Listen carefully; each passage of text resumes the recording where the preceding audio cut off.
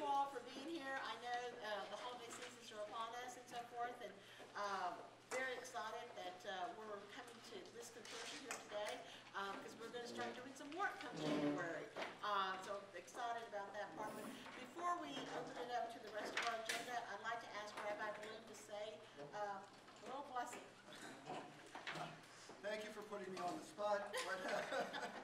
You know, in the um, book of Genesis, it said God created uh, man in his own image, and in the image of God, he created male and female, he created them. It tries to show us that each of us uh, are individuals, but in the end, each of us come together as a community. In this season and festival of lights, let us beseech God that he should bring warmth into our lives, that he should allow us to be a beacon unto others, and the lights of our Hanukkah lights, our Christmas trees, and all the winter solstice and holidays should be a beacon that we walk towards that of equality and equity, that of fairness and community, and that each and every one of us should be able to light the path, not only of ourselves, our families, but for our entire community as we reach out for the morality of life and the goodness within us and the ability to bring goodness around us as well. Amen. Uh, Opening remarks, so I'll go with Bob. So if you have any remarks you'd like to make? Just quickly, I'd just like to say to um, all of you who have agreed to serve as chairs of committees and on committees, we thank you because that's where the work really begins. Uh, You've got a job to do in analyzing a bunch of material. I've looked at some of mine today, and the stack is about this high, just with what we've gathered already. And I'm sure you're gonna be gathering more. So we're depending on you, the community is depending on you.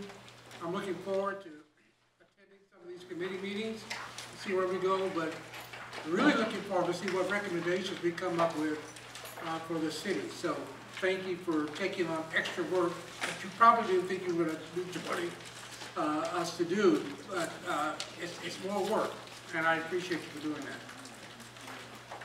Yeah, I- I- What you say? I'll, I'll just wish everyone a happy holiday season. Each and every one of us are blessed by the fact that we have a home to go to in the evenings. Each and every one of us are blessed that we have the fellowship of each other. I hope that we're able to bring that blessings to others. So on behalf of myself, uh, my community, my family, I wish all of you all of God's blessings and more.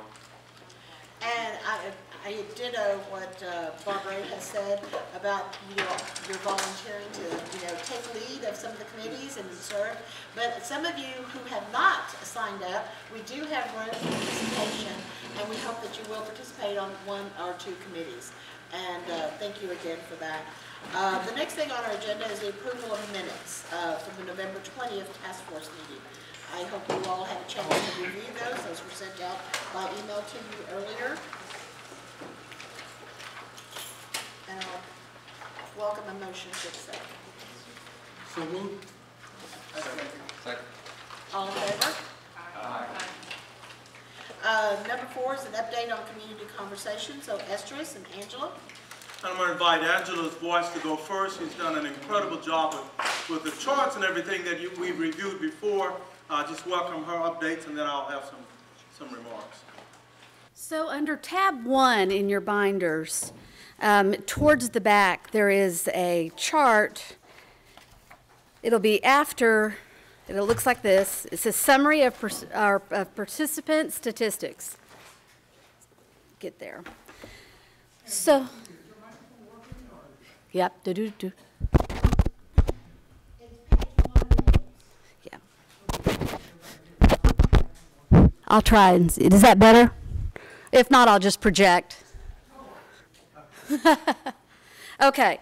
So this data was collected by those that filled out the participant questionnaire online and also by those that signed in at community conversations and or filled out participant questionnaires at community conversations.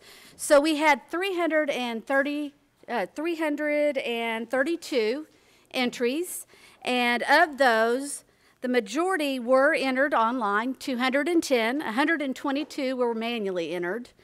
Um, of those, the people that filled out online, they, they were asked the question, were you invited to participate in a conversation?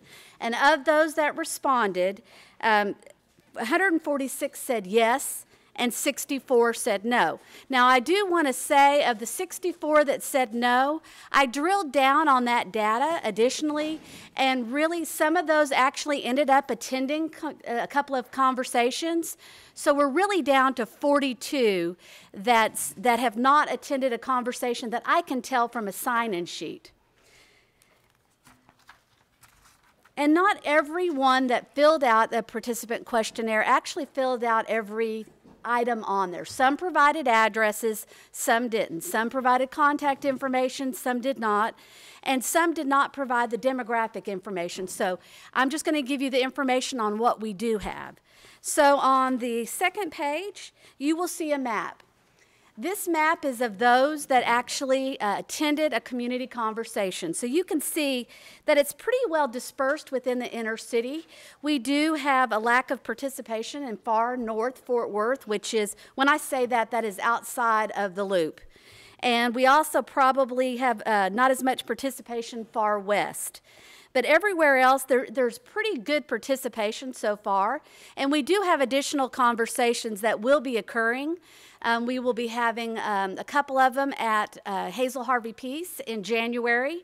And so if you have not been able to attend one and you did sign up, you will be getting an invitation. You still have an opportunity to sign up by going to onefortworth.org. Is that correct, Michelle? And you could submit a participant questionnaire there also. Now, under the demographic information, of, of the 332, 284 provided demographic information and 48 did not. So, of those that did, you can see the age range. There's a pretty consistent age range 25 to 34, we had 52 participants. Uh, 35 to 44, we had 58. 45 to 54, we had 47. 55 to 64, we had 62. 65 to 74, we had 45 participants, and then 51 did not provide information. So of those that did, it's pretty dispersed um, towards the middle. We don't have a, we only had five participants in the 18 to 24. We had three that were actually under the age of 18, and we had nine that were 75 or older. Under race and ethnicity, um, the majority of those that have, have attended are African American. And then the next is white or Caucasian, and then Hispanic, Latino, or Spanish. And then actually, we had a really good representation from Asian or Pacific Islander. Um, and then you can see the rest of we had one he, one person that said Hebrew, another one that said Haitian American. We had two Native Americans, but the majority are those three main categories: African American, Hispanic, Spanish or Latino, or white or Caucasian. Education, you can really see a, a big gap there. The majority of the attendees either had a bachelor's degree, a master's degree. Um, of bachelor's, we had 83, master's, 86. Um, we had 24 doctorates, um, 18 professional, and then 34 some college graduate. But there is, you can see that if, if you didn't have the higher education, there was probably a little less participation in these community conversations. Under marital status, the majority were married or domestic partnership. We had 166. 71 indicated they were single, um, and 30 indicated they were divorced. Under employment, most everybody indicated, the majority, uh, employed for wages. There were uh, 45 retired, 32 self employed, um, 12 students, and then two unable to work. They indicated that they were disabled and unable to work. Under sexual orientation, the majority at 224 was heterosexual, and um, quite a few none of your business, um, but the majority were uh, heterosexual. Under uh, gender, we had 176 female, 104 male. We had one transgender individual. 51 did not provide information. We didn't break down the remaining page by charts because there were so many responses. Um, we asked religion. We had quite a few that said, again, none of your business. Um, but we did have those that did respond. We had 39 Catholic, 89 that simply said that they were Christian, um, 27 that said they were Baptist, 24 Methodist. Um, we had 10 Protestant, but 86 did not provide, provide that information. Under political affiliation, again, quite a, diverse response. Um, and they were quite interesting. I got a few chuckles on some of these. Um, we had 81 Democrats, 43 independent, um, 12 that indicated Republican, though one indicated Republican moderate. Um, we had um, a couple of liberals. Uh, one, we had someone that said they were conservative but currently a raging liberal. I thought that was an interesting response. Um, and so there, there's a variety of uh, responses there, but the, the major ones are Democrat and Independent. So now Estrus is going to talk about the actual results, some of the feedback that we have received at the community conversations.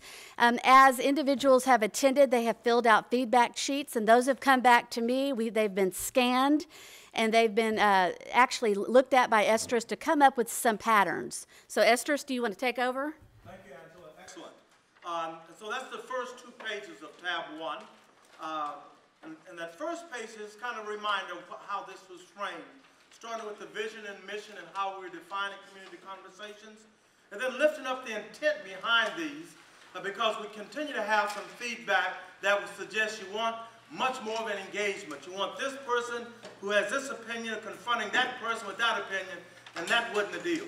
Um, so we talked a little bit about intent and invitation, and then list all the questions that these three series of feedback sheets contain. Um, I underline the ones for this first feedback because they point to particular patterns, uh, particular um, uh, perspectives about uh, the city of Fort Worth uh, as it relates to race and culture. Uh, so the second page, as you turn over, is how I've clustered these. And these are not uh, isolated um, comments. These are clusters, so there are several comments that led to these being the, the ones that emerged. And the same thing for the next two pages around uh, ideas and solutions. These are not singular ideas, these are clustered of ideas. I haven't prioritized any, I just listed them as I read through the different files, the, the different feedback reports. Um, so the first one, uh, looking at page two, uh, looking at the first and second conversations, the one that were underlined, here's what emerged. There's a strong consensus that little or nothing is being done by the city to improve race relations, racial equity, or cultural awareness. Or most people don't know about anything being done by the city. Uh, the city continues to be reactive rather than proactive. Um, these community conversations are one step uh, by the city of Fort Worth. The second area clustered a number of, of, of, of um, topics related to critical areas of racial, ethnic disparities reflecting racism and other biases from their perspectives, which includes public school education, housing, gentrification was cited several times, transportation, fair employment and economic development, infrastructure investment in black and Hispanic neighborhoods, and overall a lack of transparency. The next big pattern, a long-term entrenched segregation patterns in residential housing, education, schools, neighborhoods, businesses, churches, organizations, and city celebrations, and little interaction at the large scale between different races, and especially wealthy and poor. Um, other than a few select events and groups, our celebrations and gatherings reflect segregation patterns. And then the problem uh, that was named early on in response is systemic structural and institutional racism and not simply personal or individual acts of racism. Leaders should know the difference. Uh, often cited was a lack of diversity in arts, music, cultural events. Um, and there was a, a, a, good pattern that suggested to continue and expand, continue, expand, and deepen community conversations and clarify measurable outcomes, and to create a platform to continue these race and community conversations.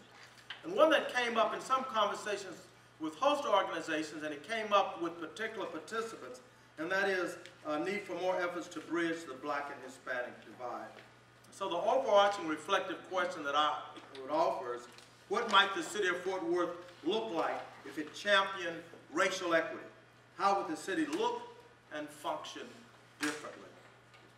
Now you'll find, again, if, if this landed kind of negatively, it softens when you read some of the other feedback. So this is just those mostly actionable items that point to, to the problem, but, it, but it's not all about problems. And you'll get a flavor of that as you look through these, read through these 38 ideas and suggestions that different uh, neighbors had offered. And I clustered them in communication and engagement, diversity, inclusion, and equity, um, economics, poverty, and disparities. And there's some other ideas in general, uh, just that didn't fall neatly under all of them. They're not prioritized, but you'll find substantive perspectives uh, that can give some insights on what's possible. And then last but not least, again, we've said from the beginning uh, that we're, this is not a new game in town. For some of us, we've been on more race and equity and culture committees than we can name on two hands. Um, and there are systems that have been recently involved in substantive work around race, equity, and culture. And so I just lifted up a few of these. Uh, Max is here. Uh, somewhere, all right. Uh, and so at the very top, the TCU Diversity, Equity, and Inclusiveness Committee, and I just did a little bit drawer about what their focus, but can't capture all of it. It's significant. Uh, and their alignment and connections with the fourth ISC Racial Equity Committee uh, and their Division of Equity, Equity and Excellence. We know about the police department's um, national initiative for building community trust and justice. Some of us are aware of the Early Learning Alliance Racial Equity Task Force.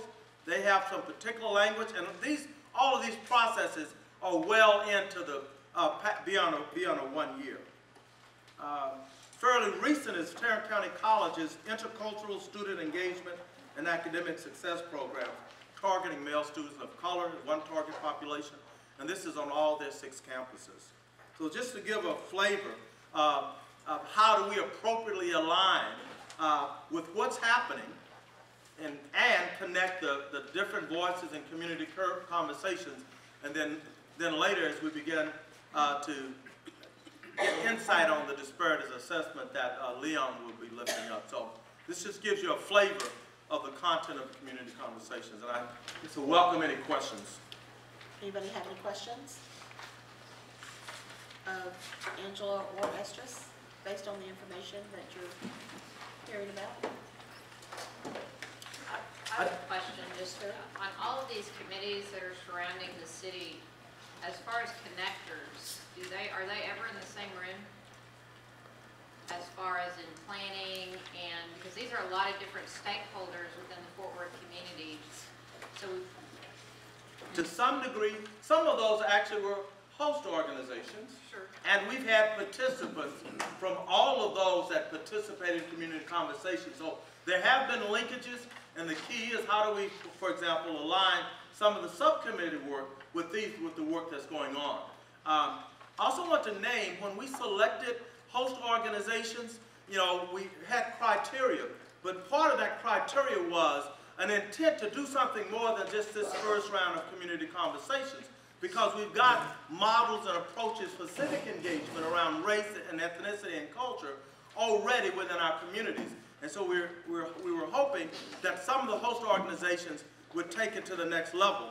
And just as a sample, so I sent this to you for the last meeting, we didn't really discuss it, but there are various models uh, that we also would be looking at to include um, dinner conversations, um, community conversations in the arts, courageous conversations that's been a powerful resource uh, within our schools. That I think both Walter and Katie and a few others each have suggested some models. So part of the possibility is as we move beyond these first round of community conversations, what are the models, what are the distinct models might we offer our broad community rather than assuming one size will fit all? What are some unique pieces? And also included in that is seeing God in one another. I think that's an Episcopal model for racial equity. So we don't have a shortage of models, What we need is clarity and focus, and then following those models to see what's, uh, what's, uh, what's been effective. Any other questions? I just have a comment. By looking at all this and seeing that we're way behind other cities, especially when it comes to race and equity. And also, I guess, social justice as well. Um, It sounds like this committee, or a committee like it, is one that's going to be, continue to uh, be uh, interacting or standing for a few years. And what I read of this committee, we're, we are to terminate after a year. Well, I think we need to be planning on another committee or whatever, continuing the effort, because this, these problems are not gonna be solved in one year. It's gonna take a lot of time to get in, in, in depth in all the things that are going on. And I agree that there needs to be some coordination done, because everybody's out there working. If they are working on things, then nobody's really understanding, because they're working in silos. So it's gotta be able to bring it all together. And so part of this, and and your job probably, I can't tell you your job, but I know you're doing it, is to see what's out there and bring it together. Well, if you remember early on, we talked about that, you know, if we see that we need more time, we will be able to go to the council and ask for another year, uh, whatever the time frame is that we might need to come up with our I'm I'm recommendations. not asking for more time to us. Sorry, Walter. There needs to be a steady committee that's looking at race and equity in the city for some time forward, Oh, no, de- definitely. I mean, and I think that's gonna be one of the recommendations. along with the other you know. committees as well. that are suggested. Exactly. Thank you, Walt.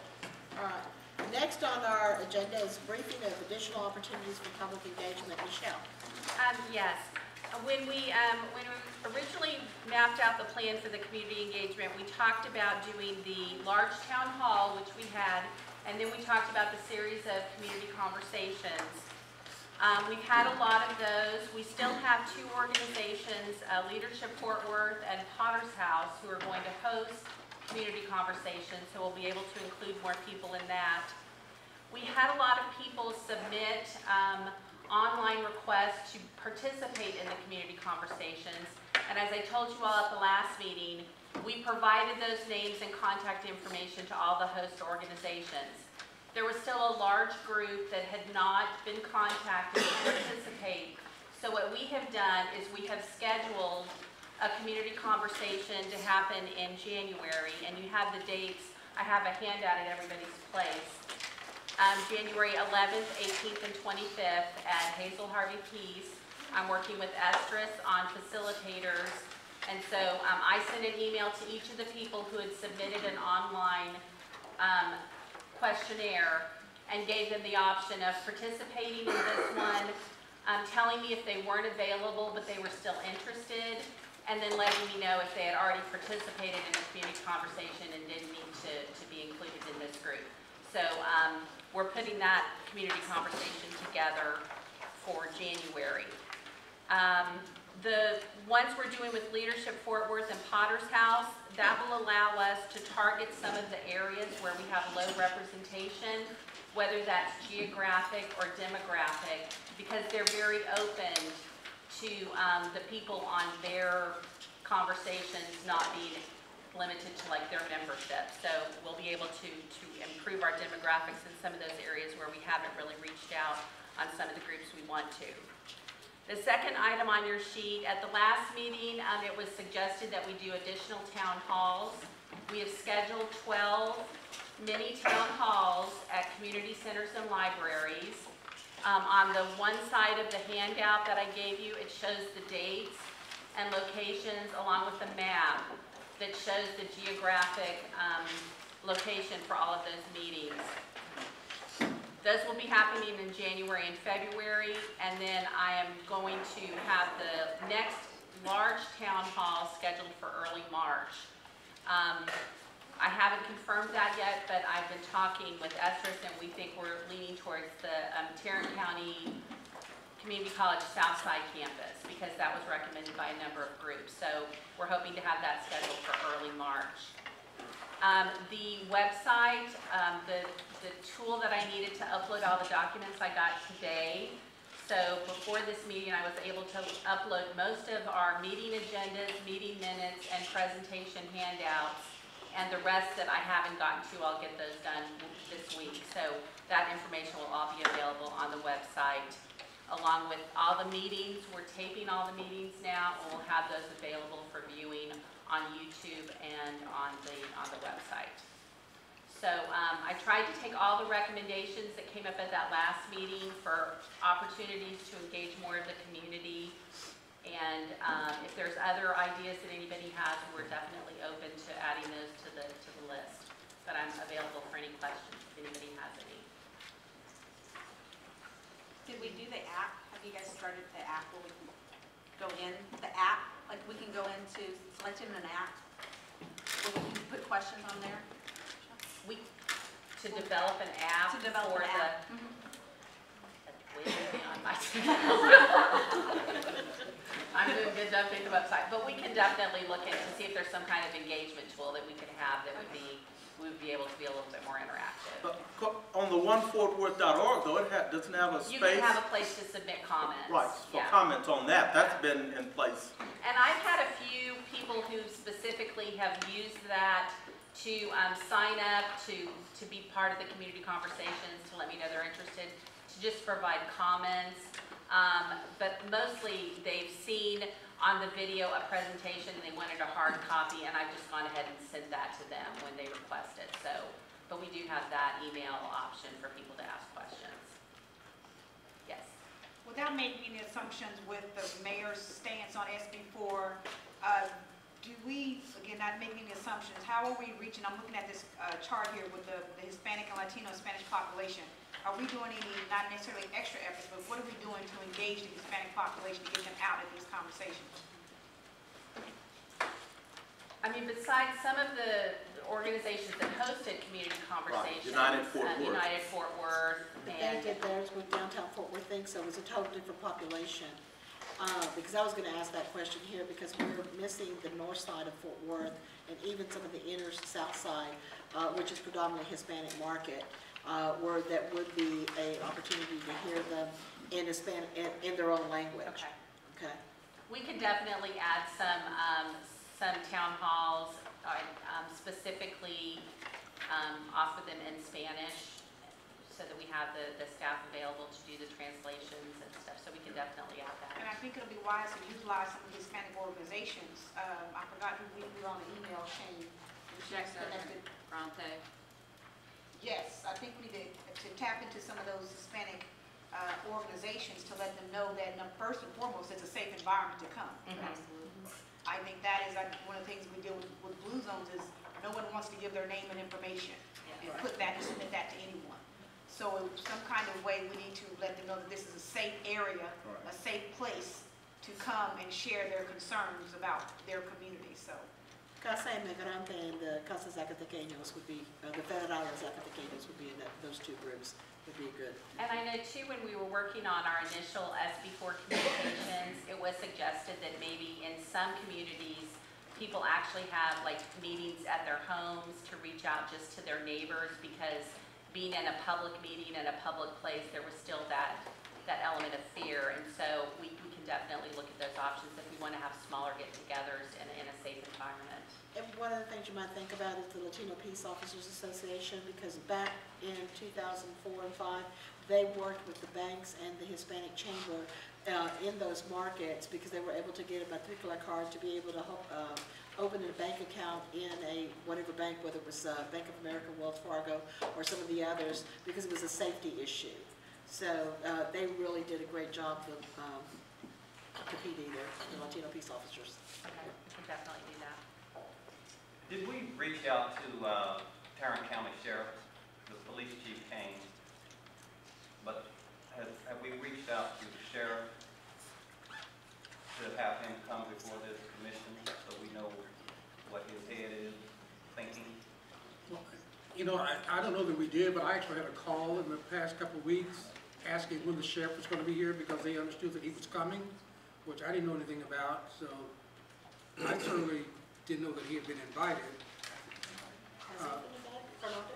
I'm not aware of any invitation to the chair. Yeah. We're I'd gonna be happy, him, if right? it's a will of the task force, we'd be happy to invite him to the next meeting. Yes.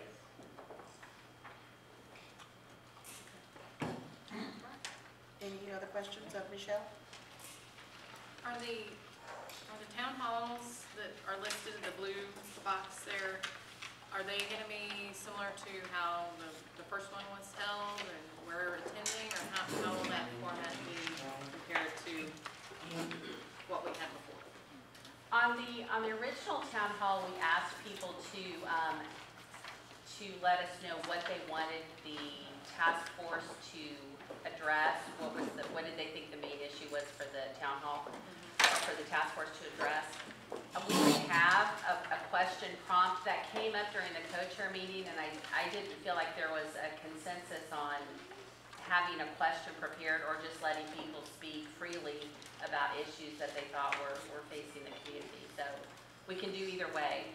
Well, I almost wonder if some of these might even be better served as a community conversation, given some of the locations too, and mirroring with the demographics that we've seen where you want to actually improve the response. So the far north area as well as in um, the Diamond Hill area and even some of the southwest and the the southern parts of town, if these are town halls, like what we had before where people just came and gave comment versus a dialogue. So that's versus the community conversations that will be held at Hazel Harvey Peace. So I'm just wondering if we need to flip flop it maybe, or I, I'm not sure what the format is. Well, and we also have the opportunity, like with, um, we could host another community conversation in another area if, if we'd like to do that. Well, I know we also talked about the, the, the format and Estrus, you talked about maybe restructuring a little bit, so, because that was one of the barriers for some folks to participate was, you know, three nights, six hours, all those kinds of things, and even some of us that participated, some of us got through it faster than others, and so I just, I'm glad to see that we have more dates and times and things already locked in, but as far as utilizing them the best way, way we can is what my question is really focused on. So making these Well- more of kind of a hybrid between the town hall and the community conversations versus just where people come and speak. Right, And focus on a one, one time, one event instead of multiple. Mm-hmm. Yeah, I think we can. Let- Why don't we work on something of that nature? Because what concerns me, when you look at the number of people that have participated in these community conversations, uh, or leaving comments and so forth, it doesn't reach the population of our city. So we're not hearing from a lot of people. Right. And we need to. Conway? I was just gonna, uh, go along with what Jennifer was asking about. And that is, I, I assume that these are gonna be smaller, uh, smaller number of people, which gives an opportunity for dialogue indeed. And depending on who the moderator is, you can have that dialogue and you can get, a you know, to a lot of questions and answers. Uh, I don't see any reason why that can't be dialogue, um, in all of these. Walter? I was just wondering, I looked at the uh, meeting location, I just wonder, would you consider Stop Six or Meadowbrook, because you kind of miss that area altogether? The Stop Six Community Center or Meadowbrook? Because you've got to the north, you've got the the East Regional Library, which is actually above I-30, and then you've got McCrae, which is more south to 287. Yeah. And I Had a conversation So you with, missed the- You missed the core of the population. Right. had a conversation with Historic Stop Six, and they're interested in hosting one at the, at the community center where Ca- Carlos That would be, that would be the best spot, Yeah. Stop Six Community Center. So are they looking to host a community conversation? or- Uh, the host, what, what, what we designed, I think they would be open to a one event rather than a series of three that can be modified. Yeah. Okay, all right. Can you get us that modification, uh, so that we can take a look at it? Okay? Yeah. For our next Yeah. co-chair meeting? Okay. Yep. Is there anything that is going out, maybe in the water bills coming up next year, early next year, that might provide an opportunity or a survey of some kind for people to provide back or something so we could get to more people possibly as well, their insights? I mean, well, if you even to go there, you could talk about some of the marketing dollars the city uses for the billboards or the bus stops or the bus wraps. I Tho- Those are, that, the bus I know wraps it's and the probably bus stops far are in totally, advance, uh, separate from the city, because that's, uh, Fort Worth Transportation Authority. Okay. Understand. Just saying, if we're trying to get the word out. If we're mailing already, if we were to mail something, I mean, it would obviously take some funding, but that would also provide an opportunity for people to provide input. That might not be taking a lot of time, which seems that's maybe the biggest issue, is people providing the amount of time. But the insight, people would be willing, I'm sure, to write something, and we could get a little bit more information from people as well. I think also if we put some stuff in the community centers, Centers. maybe where they can, a postcard where they can write where it's already, they don't have to put money into it, it can just be sent back, that might be uh, a great way to get uh, different communities more information as well. Well, and one of the other things is the uh, people that have hosted us in our community conversations, if we can send them something of a small little survey or so forth, then they can send it out to their memberships and their contacts so that we can try to get more information in. Yeah, I love that idea. Yeah, I I don't have like a question, but more so I don't want to commit other, everyone else's time, but do we think that the, the task force should have some type of presence at these town hall meetings if it's at least two or three people? Because, you know, I, I, you know, you don't want people to, That Show up. into the request. uh, you know, I don't, you know, I don't want people to show up to these various town hall meetings and, and ask them, so what are we doing, just in here You'll be talking? getting, you'll be getting the first list that we're passing around, so you get your first voice right there. We, will- we will be passing around a list, just like the uh, conversations where, so- not all of us need to go, but some of us can go to different ones, so there is And if you can make representation. all of them, great. If you can't, that's understandable. Yolanda? Ty, I think that goes back to what we were talking about on that email conversation on how if we begin to partner with one another as a task force and utilize our relationships, there's some people who we know in our circles that have not been able to, for whatever reason, to participate in the community conversations. But if we picked up the phone and called and said, hey, I got this going on on this night, I'm thinking we can possibly get more voices by utilizing our relationships. It's one thing just saying there's a meeting going on, but if they know that we- if there's a personal investment that we have, and it's a personal invitation, we might get a higher representation and participation from those that we know that we're missing their voice. Right. I have a question for the guys from the League of Cities. Uh, Y'all have heard us talk about this before and how we get communication out. Uh, What are your suggestions as to how we do this to get more participation? I mean, y'all have done this before. So, uh, so thank you for, I was going to weigh in when it was my time to, to speak, but thank you for asking. So I do think there, there are two reactions listening to how you're having the discussion. The first is commendable, which is that you're really thinking through creative ways, how to leverage your partnerships, how to find the right locations, making sure you're not um, putting it in traditional spots, but looking at non-traditional places where it needs to, needs to happen. I do think the larger question about resources of promoting is one that should get resolved like what resources are available uh, through the city to try to, whether it's going through the uh, water, water utility bill or other, other ways of getting the message out. Part of my measure when we come into town is, uh, you know, we, we talk with different people around when we're coming in, just like who is aware of what's going on as relates to the Race and Culture Task Force.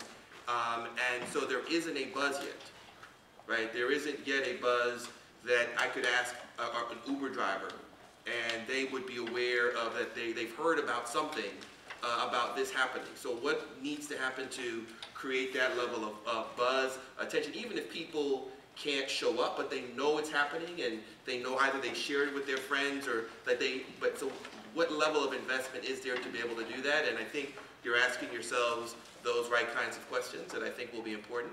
Uh, the second that I was going to mention um, uh, as well is not to rush this process. Um, and I know that there is a lot of time that's already been invested.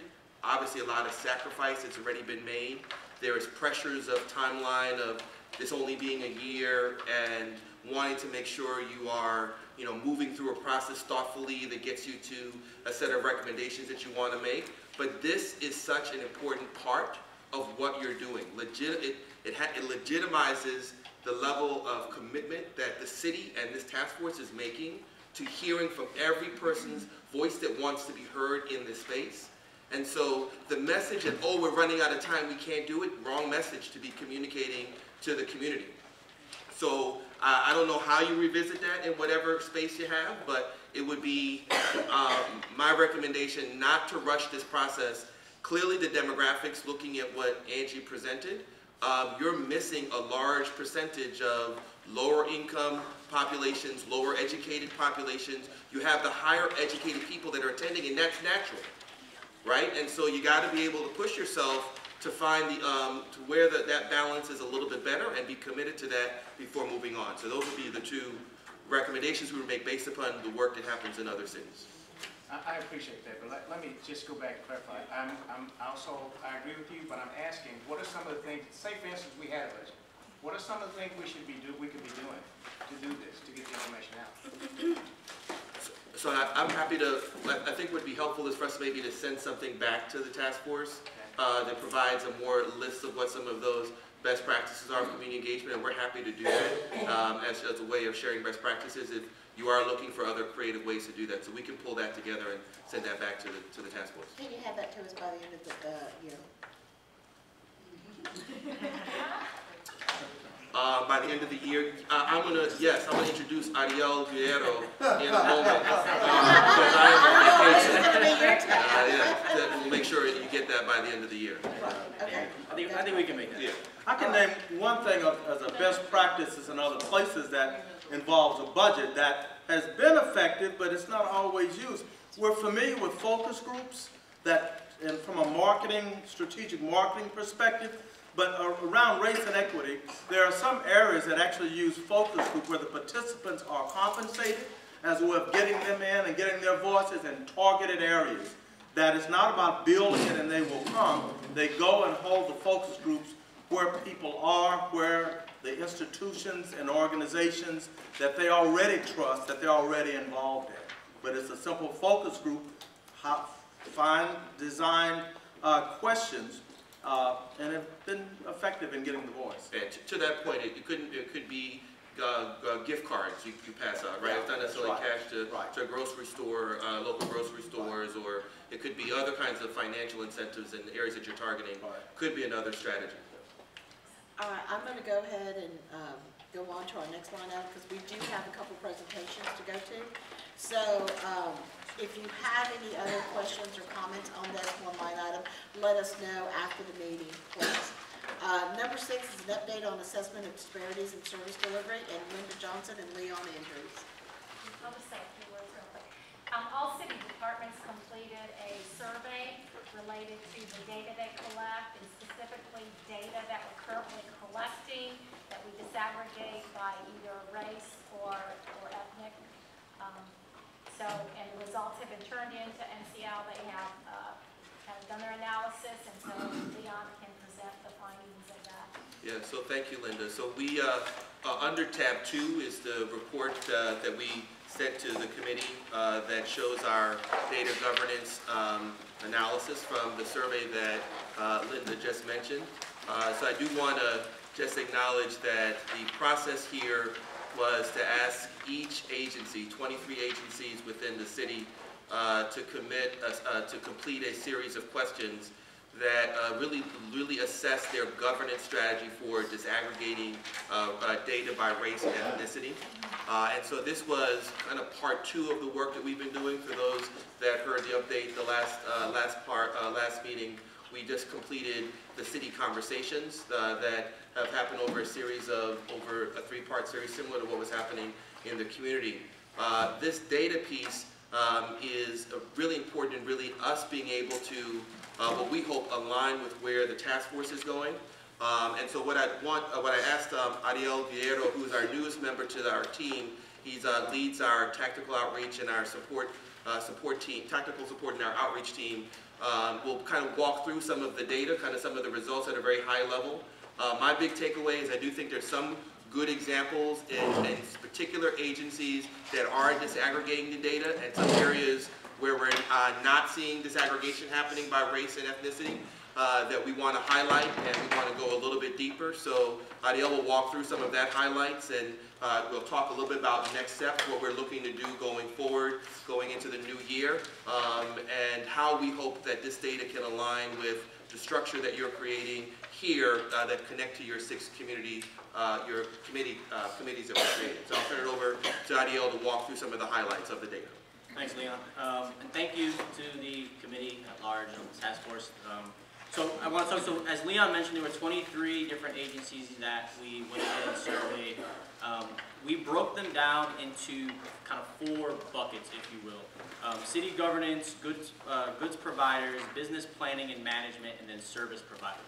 Um, So as you'll see in the appendix, in the back appendix A, you'll see how we kind of subset those groups. Um, Now, part of this was, as we went ahead and looked through this survey, we had kind of two core objectives that we really wanted to to kind of analyze and get to the core of. One that was understanding the existing data collection practices um, within these agencies, and then two was to discern whether that data um, had already been collected or was being collected um, that examines the racial impact, right, of their programs. A lot of this piece has been around service delivery and how that's affecting said communities. Um, Now, though these questions were centered, centered on these objectives, um, what we found was there are some stark differences about how um, agencies have responded, right? Who is collecting data, who has the ability, or who's actively doing that, where there is some transition space with agencies collecting some of this data.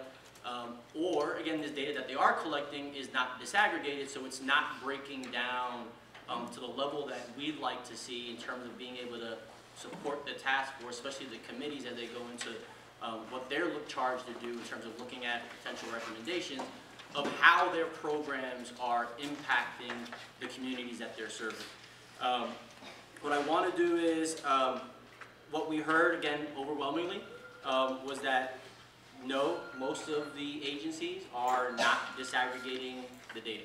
Um, There were kind of three core questions here that kind of stood out. Does your agency track, um, does your agency track agency or city, city leaders outreach to residents by race, ethnicity, and/or geographical region? Has your agency reviewed the impact of economic development programs and differential impacts by race, ethnicity, or gender? And third one was, has your agency analyzed equity within agency city, um, city leadership outreach? So again, sixty-five percent of the respondents, the twenty-three responded no. Um, now, you'll have, each of you has the full survey questions. Each of the respondents, when we broke down into these four different, um, subcategories that I had outlaid before, those last three got some specific questions directly, kind of directly related to their body of work, if you will. So goods providers got, um, had one question that was different, for example, than city government agencies. City governance agencies had three additional questions outside of, um, outside of the seven standard questions that each agency was asked. So again, this is an appendix B. Um, so I know it's a lot to, so I'm happy to answer questions on this. Um, I think one of the highlights that I want to kind of pull out here is that, again, the, the disaggregation of data is not across the board. Overwhelmingly, the majority is not disaggregating data. And as you look at your charge on this task force and the committees get ready to, to their work into the new year, that's important, right? That data is going to inform some of these conversations. As Leon mentioned, one of the pieces that we're looking at in terms of next steps, that we have highlighted some agencies that have a number of areas um, that are, that do collect this data and are disaggregating. So we've made three recommendations um, in terms of agencies that we're looking to have some continued in-depth conversations about the data they're collecting, how they're doing it, the process, the staffing, you know, all the different um, uh, components that go into that, how they're collecting the data. That's going to be the Neighborhood Services Department, Municipal Court, Planning and, and, um, and Development Department. These are three agencies that, again, based on their responses, we're seeing that they're collecting a wealth of data. Um, and we want to understand what they're doing with it, how they're using it to inform policies and decisions, right? Again, the structures that are going in, not necessarily reinventing the wheel. How can we then take some of what we're learning from what they're doing and then use that to scale across the board for other agencies? Um, at the same time, we want to learn about some of the challenges, why the majority of the agencies are not, right? Or they're having struggles or challenges in terms of not being able to disaggregate the data. And so, outside of just those conversations that we want to have in depth with the ones that are doing it well, or at least that are that have a wealth of data, um, I don't want to say that necessarily doing it well yet, right? To have a wealth of data that we can look at, we want to understand the challenges from the other agencies, um, and so we're looking to the task force. Um, we've highlighted some that require some further analysis. Uh, financial management services, the internal audit, public events uh, convention center, Transportation and Public Works Department and the library, right? We're looking to the task force to think through, right, which agencies you'd like to have more, of us to have more of those conversations. We also recognize that the impetus to the task force development, right? So we don't have the police department as one of our recommendations for the three in-depth conversations that are collecting data. Now, we know the police department is collecting data, they are collecting disaggregated data. And part of that thinking and rationale, um, and again, these are only recommendations to the task force, so happy to work with you if you want to include them in here, this is a piece. But the thinking is the police department being involved um, in the work that they have been involved with, uh, I'm blanking on the other initiative. Uh, the National uh, Building. National, sorry, yeah. Building uh, Trust Initiative. So the work that they're doing with the National Building Trust Initiative, right, not necessarily wanting to duplicate the work now, doesn't mean that we can't go dive into their disaggregated data, because we know that they have been doing work around that already, trying to understand how that disaggregated data is informing policy decisions. And so we might not necessarily be at a starting point the same way we are with the other three departments. It may be a different conversation that we have with the police department. And then what does that mean as we work with the committee moving forward? Um, we are going to obviously work closely with the committee in terms of being able to inform and share um, the data and obviously the, the interviews and the kind of focus groups that we have with the departments and what information is coming out of that and how that can inform um, the committee's conversations really around what recommendations you'd like to make um, coming out of, you know, the task force and its year of work. So that's a very high level. Um, I know there's a lot. This is, I think, part of the beginning steps of this. Again, I think as the committees jump into the next few months and wants to really dive into the data and what it means in terms of policy decisions, that's going to be a space where we're going to start to dive into not only the disaggregated or, again, the lack of, and understanding how that's affecting policy decisions and where that may lead in terms of the conversation or recommendations for the committees. So, and so, so that's, um, from me, just want to, uh, talk, a- be- to be very clear for us as, as Ariel walks through the kind of the details of the survey. The, for us, uh, if you go to page six of the document, um, in the document we sent, uh, what we were able to, the chart broke down the list of the agencies that, uh, had identified data that they are disaggregating, um, the- within each of their agencies. Um, and what we did initially was, uh, uh, this is under tab two, uh, for those, uh, on page six. And so we identified, at least initially, where that data was that they have identified that they are disaggregating by race as it aligns with the different committees that this task force is creating to try to begin to show kind of what, at least what's been reported of data that's being disaggregated by race and ethnicity, where potentially could align as the committee's charge is to begin to look at um, the understanding of that the disaggregated data as it relates to your committee. So you, you count the number of agencies that say that they're disaggregating, it's about, it's 11, right? 11 of the 23 say that they are disaggregating. What we don't know is to what extent, right? We don't know uh, the disaggregation that's happening by race and ethnicity. Is it being done at a geographical level? Is it being done by zip codes? Is it being done um, at um, other layers that helps us begin to do some kind of analysis? Uh, so the follow-up next steps for us going into the new year is to begin identifying at least the three agencies that seem to uh, indicate that they are disaggregating a number of things by race and ethnicity. We want to be able to better understand what level of disaggregation does that look like. Um, as we work with them to do some initial analysis around what that, uh, what that narrative is as we understand uh, whether or not disparities do exist by race and ethnicity. So that level of in-depthness within those agencies are important, but also want to make sure what doesn't get lost, we're not ignoring the work that's happening with the police department. What we are, because the police department is also very critical in this space. Um, and so we are, the work that we're doing with the police department has a different starting point. Um, they are part of this National Building Trust Initiative. Uh, and so we, uh, the chief has approved uh, that the evaluators that are doing the data, which is the Urban Institute, uh, that they can give us access to that data. So we, they, we are now working with them. We've signed off on some paperwork for us to now have access to the data that uh, the police, that they have been collecting on behalf of the police department. So it will give us a different sense of what level of data is being disaggregated by race and and ethnicity. And our goal is, is to then follow up with the police department to better understand um, that level of disparity and, and, uh, and be able to report that back to the task force. Uh, so you have that information. So it's not, while they're not listed here, they're still one of the agencies that it's important for us to follow up and understand the level of data that is being disaggregated and what the disparities look like within the police department as they're doing the work. So we're just working differently with, with that department. But it's also important for us that we are not uh, only looking at agencies that say that they're disaggregating data.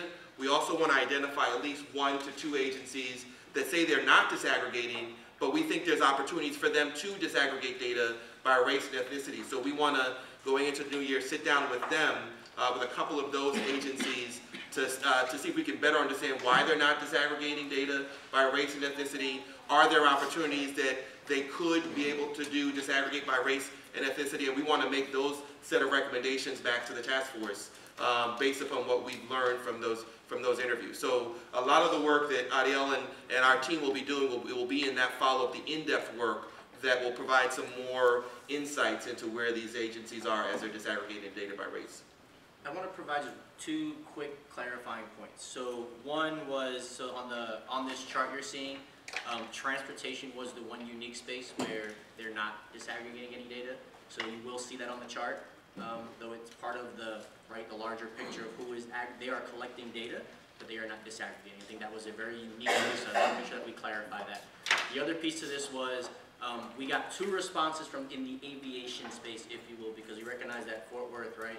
Um, the airport and then the aviation department are two separate, and so we got two separate responses. So if you look at the data, we say twenty-three agencies. Is it, you know, two different respondents in the same agency? Because part of it was also, um, there was autonomy. We didn't know, there was an anonymity in terms of who responded. So I just want to make those two quick clarifying points as you look at some of this data. Okay. Does anyone have any questions? It's down, we've got some presentations coming I up. just have one. Okay, Terry. Do you happen to have any, uh, when I'm looking at the information provided, other cities that might be exemplars to some of this that you could provide to the task force so that when we're looking at this, we can see what it compares to? Yes. That would be helpful. Yes, we can do that. Very good question. Could be lack of un- understanding on my part, but I looked at the transportation and public works, and I think of public works. I'm thinking of streets. I'm thinking if, and I know when I drive around, I know you do, there are neighborhoods that are neglected in terms of streets and other Yes. infrastructure. So are you saying that it, it, those, that the department that oversees the building of streets is not collecting the data by ethnicity or race? So that's what's what they've indicated, which is to your point, uh, one of those agencies we want to sit down with to understand um, uh, why they're not and, and to explore um, ways that they can. We know in work we do in other cities, uh, it's uh, an important agency to disaggregate data by race and ethnicity.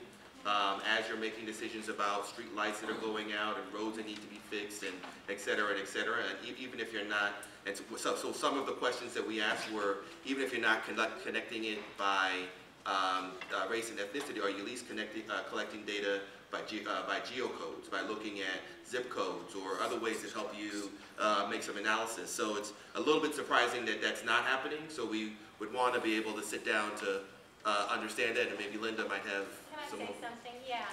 And so I think that's why we need to take a deeper dive. So yes, the street department does collect a lot of data. Sometimes to look at it in ways like you're talking, we've got to combine two different data sets to come up with the results. So when the department answered this, the data sets they're thinking of that they're collecting the data in, they may not have um, race or ethnicity in that because usually you don't in some of those databases. They would have to combine it based on some other databases we have in GIS and that to come up with those maps and that. Yeah. So it's a combination of other data sets. And, and again, the other part that's really surprising, and Ariel hit on this point, but I don't want it to get lost.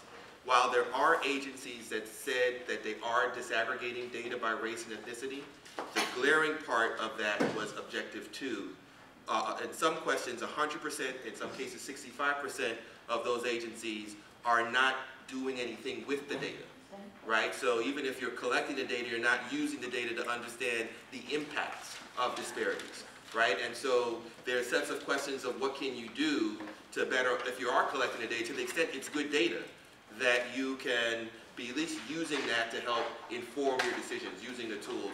So part of that in-depth uh, conversations is to better understand, is the data collected at a level where they can do some of that analysis? And part of what we want to be able to do is to offer some of that analysis with the data that they currently have to see if, how do you tell that narrative? But then also to make the larger point about how does this translate into some of the other agencies that are disaggregating the data by race and ethnicity. Well, thank you, Leon.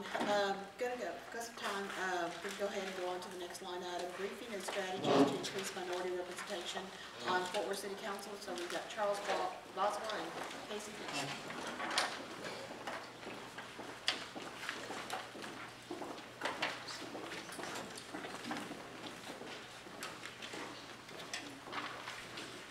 Thank you for giving us an opportunity tonight to explore for a few minutes uh, something I think is very critical. You'll recall uh, a couple of months back, I think I introduced a concept related to a different way to do city council redistricting that is citizen-driven and really takes the politicians um, out of the process. Why this is so critical is this is where policies for the city of Fort Worth start with your elected officials, which are the mayor and city council. So they are going to drive policies on all the things we're talking about here, economic development, health, uh, transportation, what, what have you. We, to reset the stage a little bit, we have a historic opportunity coming up.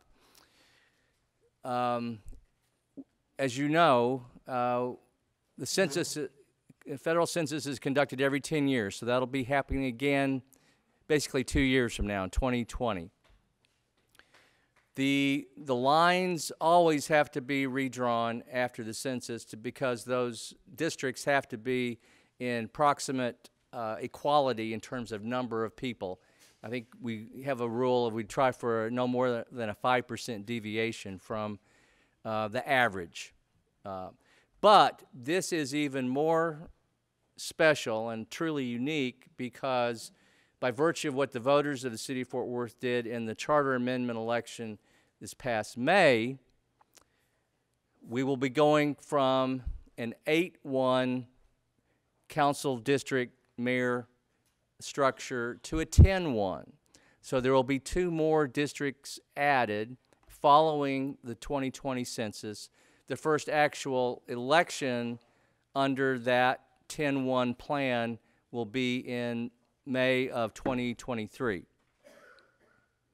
So everything is going to change. Right? So I'm well aware of the fact that this is not one of the charges that the City Council has asked us to weigh in on. However, I'm, I'm being presumptuous enough to say this is an, an opportunity uh, to address a very critical issue related to race and culture. If you look at the situation now, we have, um, out of the nine elected officials, we have two African Americans and one Hispanic.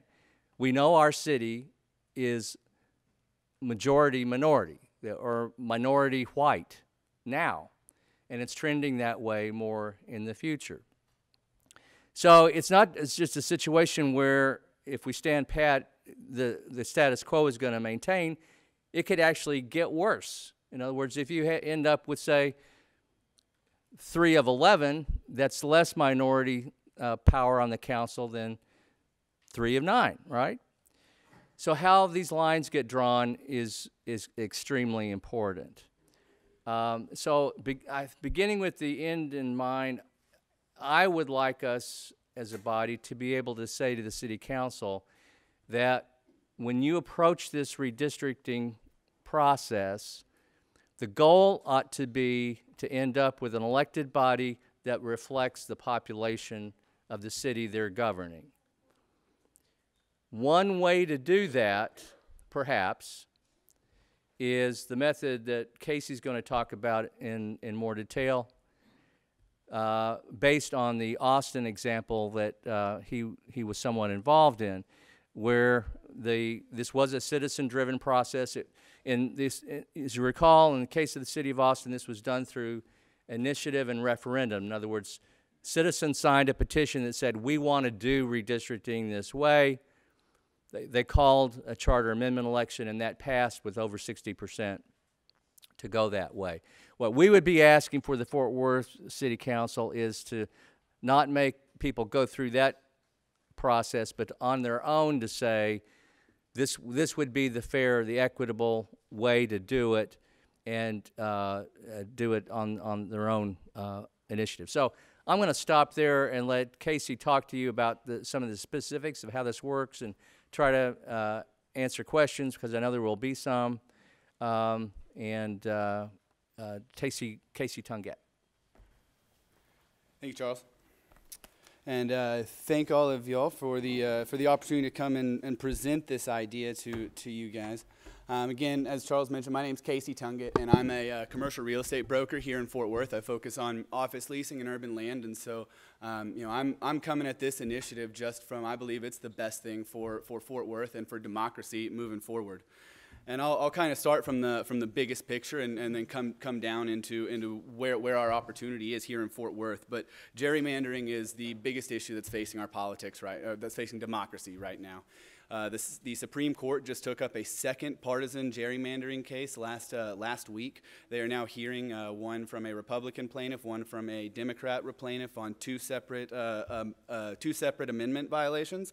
And it is, it is something that, that could change politics, that could change democracy, could change politics and how we choose our elected officials. In 2016, in the March 2016 Texas state primaries, that March election decided 35 out of 36 of our congressional seats. It decided all 16 of the state Senate seats that were up for election and decided 135 out of 115 state House of Representative seats. That makes the November election just a formality. And the only way that an incumbent can lose is by getting outflanked by a more radical version of their own party because they know that they're only competing for a smaller set of, the, of, the, of their constituency, knowing that they're safe to, to win in November. And Fort Worth is in a is in a unique position right now with uh, with adding our two additional council districts. Fort Worth has always uh, strived at the city level to remain nonpartisan, and this is a this is a solution to to continue to to be a nonpartisan city government. You know, it, it is uh, it, it's a way to go through the process the right way, and this is what's going to affect, as Charles said, what is going to affect our future policies for the next decade. As he said, this is the 2023 election. The city council members right now have to get reelected twice before they're even worried about what these, uh, what these new district lines are going to look like. And so I think that there's a roadmap for how we do this, and it's what Austin just did in 2014.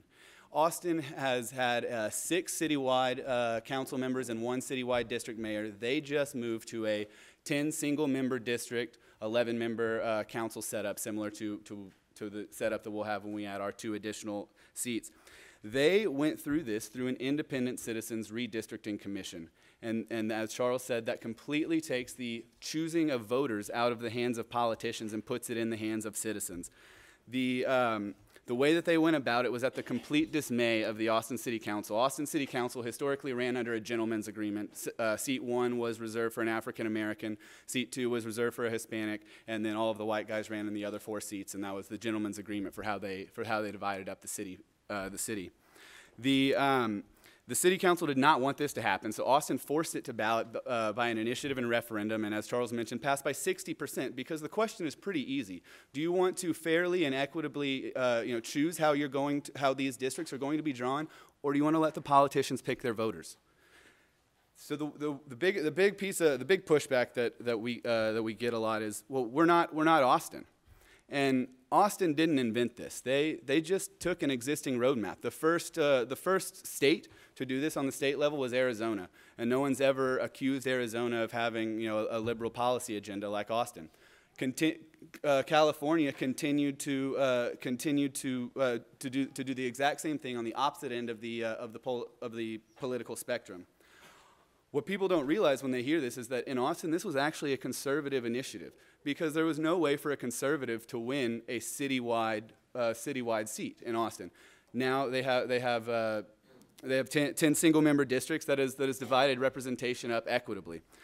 I think that, that the opportunity that we have in, in Fort Worth is, is, is going to be incredibly important and the way that we can then present to, to our state and the larger picture how we do this process correctly.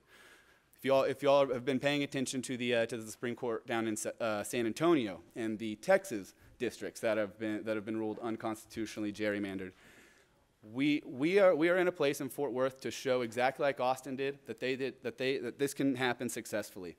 The crazy thing about Austin's map is they drew this brand new map with 10 citywide, uh, or 10 brand new districts from scratch, and it did not get sued. No one complained, everybody accepted it, and, and they moved on forward because it was a fairly drawn map.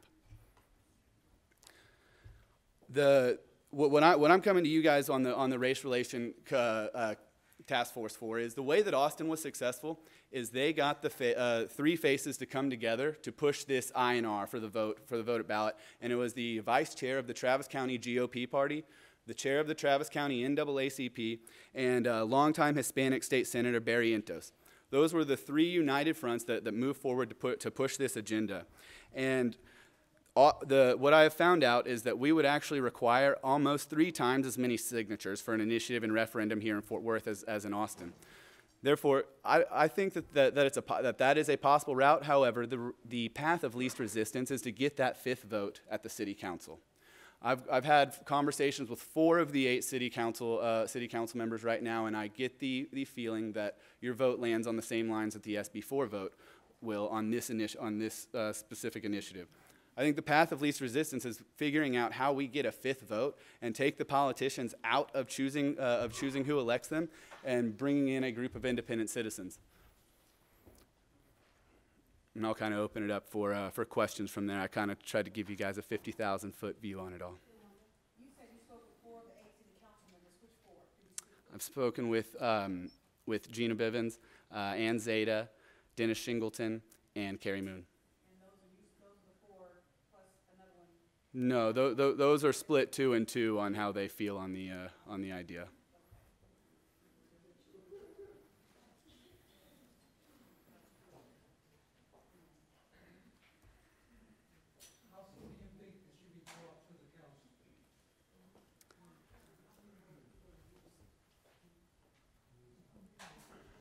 Uh, so, c- can you repeat the question, Bob? I think I think that time is of the essence on this. As y'all just heard, this is a mouthful of a subject for, for somebody to get out.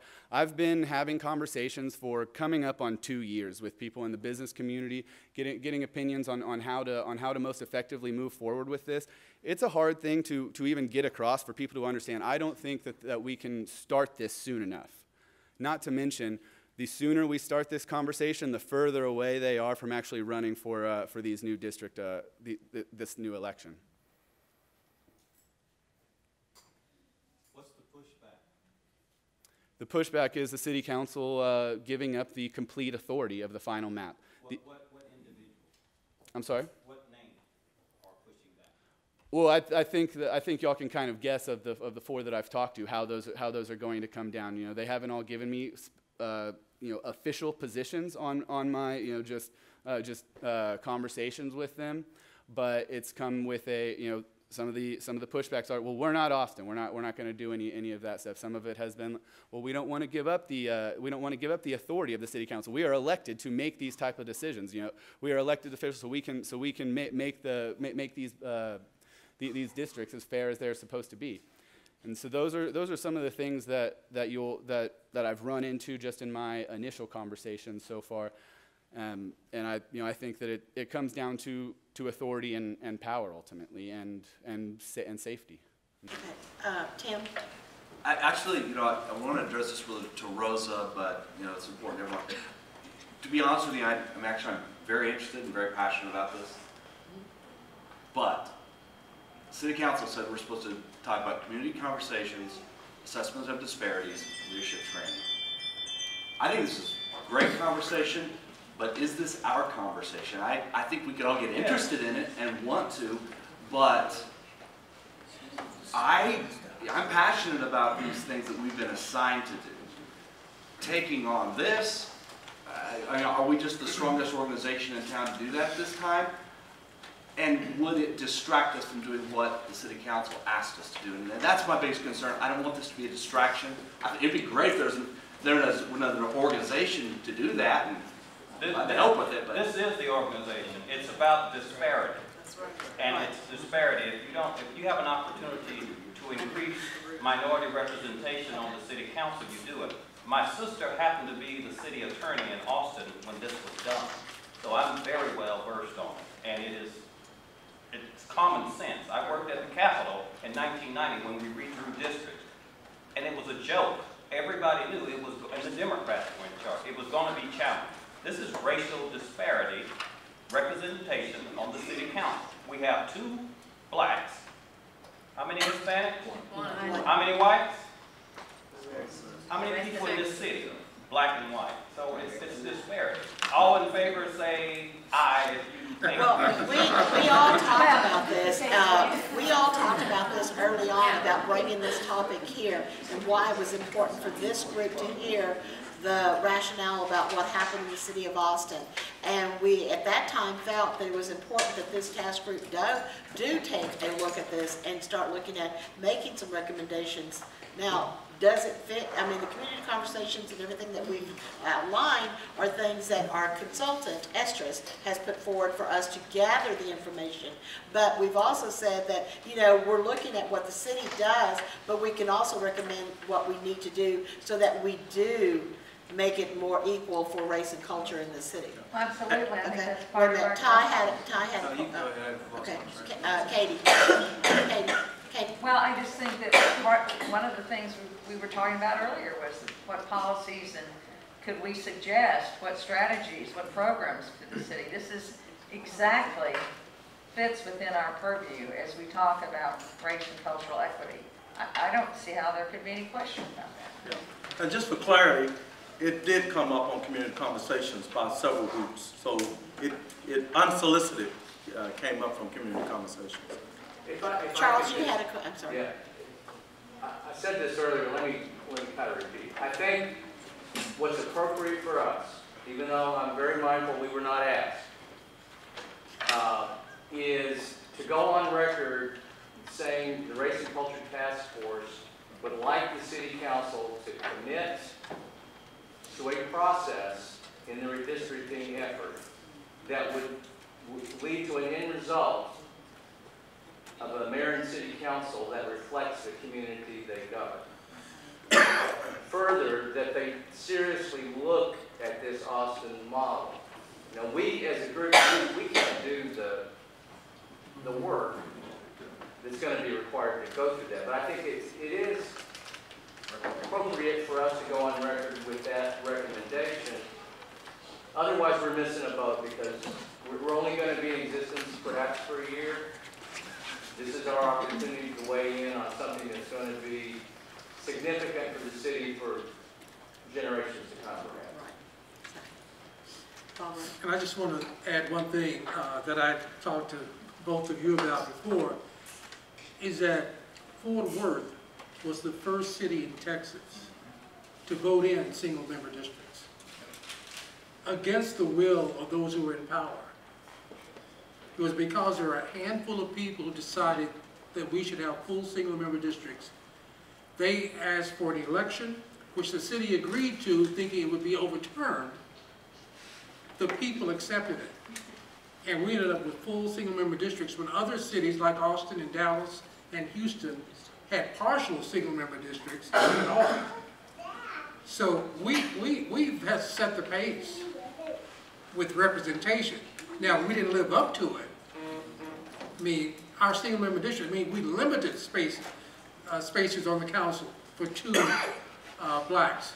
Two at the most Hispanics, but generally one. Now, the population has changed.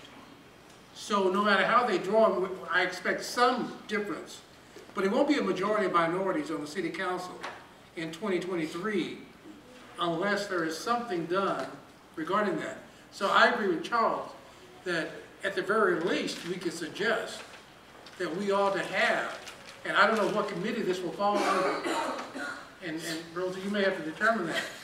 But at the very least, we can suggest that the city of Fort Worth should have an independent redistricting group to draw the lines and take it out of the hands of the politicians. I move, if I say this correctly, but I move that we go ahead, and I know we are, we have our committees, and we're gonna have our list of recommendations, but it sounds as if the majority of us, I don't wanna assume that, but can we go ahead and list this as one of our recommendations as we build the others, or do we wait until later on? If this is something that we're all, or we can come to a, a, a- vote, but I feel like if this is something that we need to, I mean, the way Charles just put it, we just need to put that in writing and expand it as a recommendation, but I say we just go ahead and move forward, let this be one of the recommendations. I our second first. it.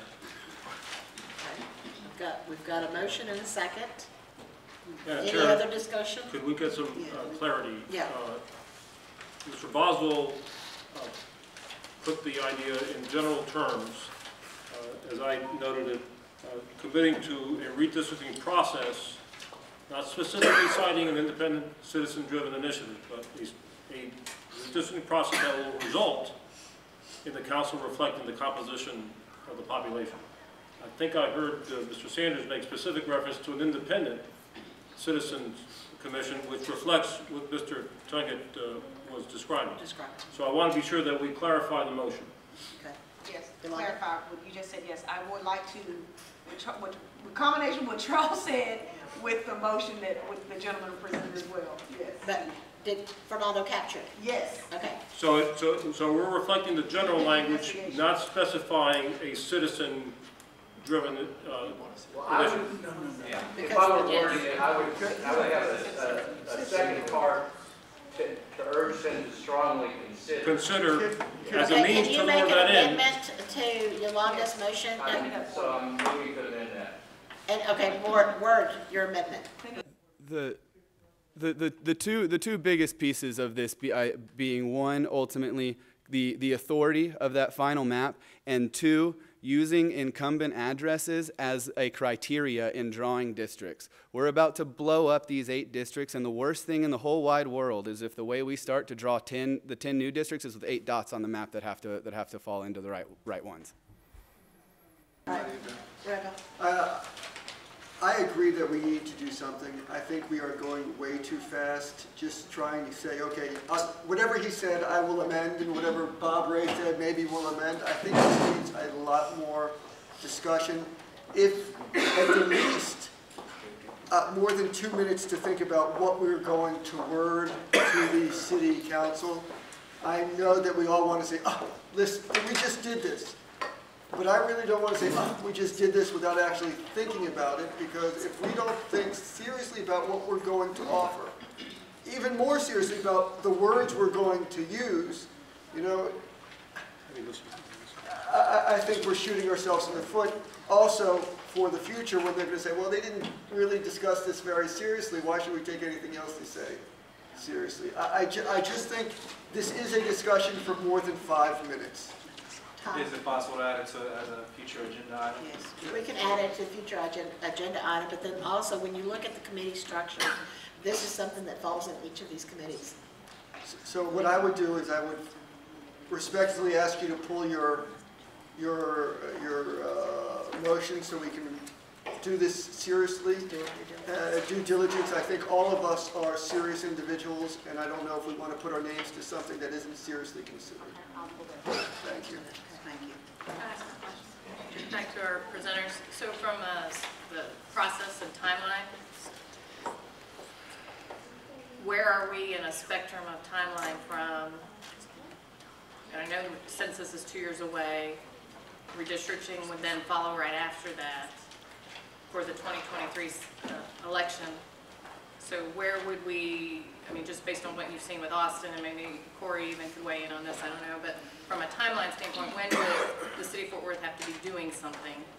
Actually, So, so why, why I said I, th- I think we start as soon as possible is because if we find out that we can't get that fifth city council vote, And the, and the route to go is through initiative and referendum. We have to get 87,000 signatures and, and take it to ballot. That ballot measure passed at six, by 61% when it, when it got there in Austin. It's just the process of having to go through that process and getting it there. The census data will come out in 20.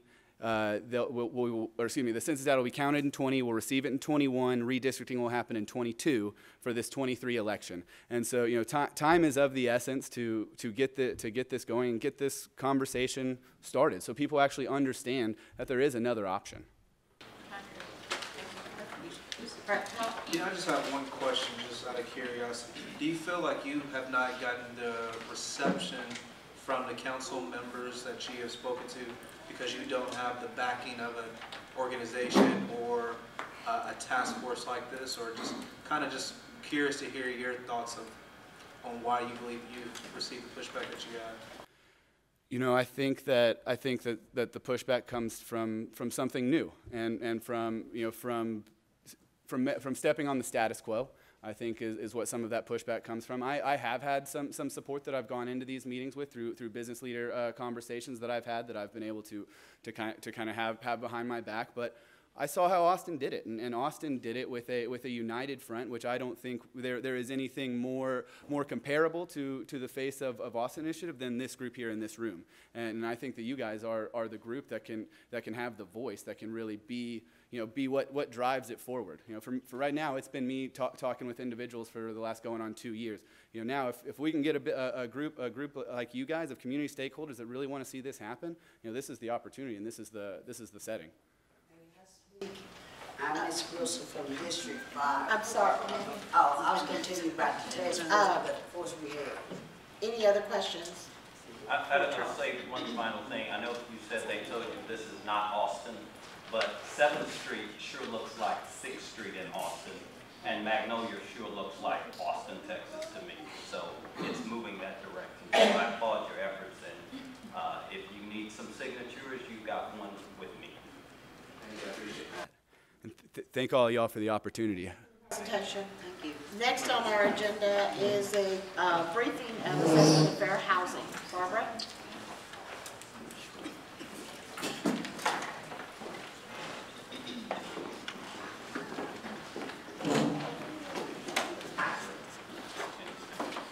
Good evening, ladies and gentlemen. My name's Barbara Asbury. I am the Compliance and Planning Manager with the city's Neighborhood Services Department. And I'm here this evening to talk to y'all about the assessment of fair housing. Um, my role with the city and with the Neighborhood Services Department is to ensure that we continue to receive a certain amount of federal grant funds that we get from HUD every year. We get about $10 million in HUD grant funds, and that is dedicated specifically to help low and moderate income persons in the city of Fort Worth. 100% of that $10 million. And as you know, with federal money, you have a lot of strings attached. And so my role is to make sure that we dot our I's and cross our T's and make sure we continue to receive the funds. So one of the things that HUD requires us to do is to do a lot of very specific planning and reporting documents. And one of the things that we now have as a requirement is to do a fair housing plan. And so what this is called is the assessment of fair housing.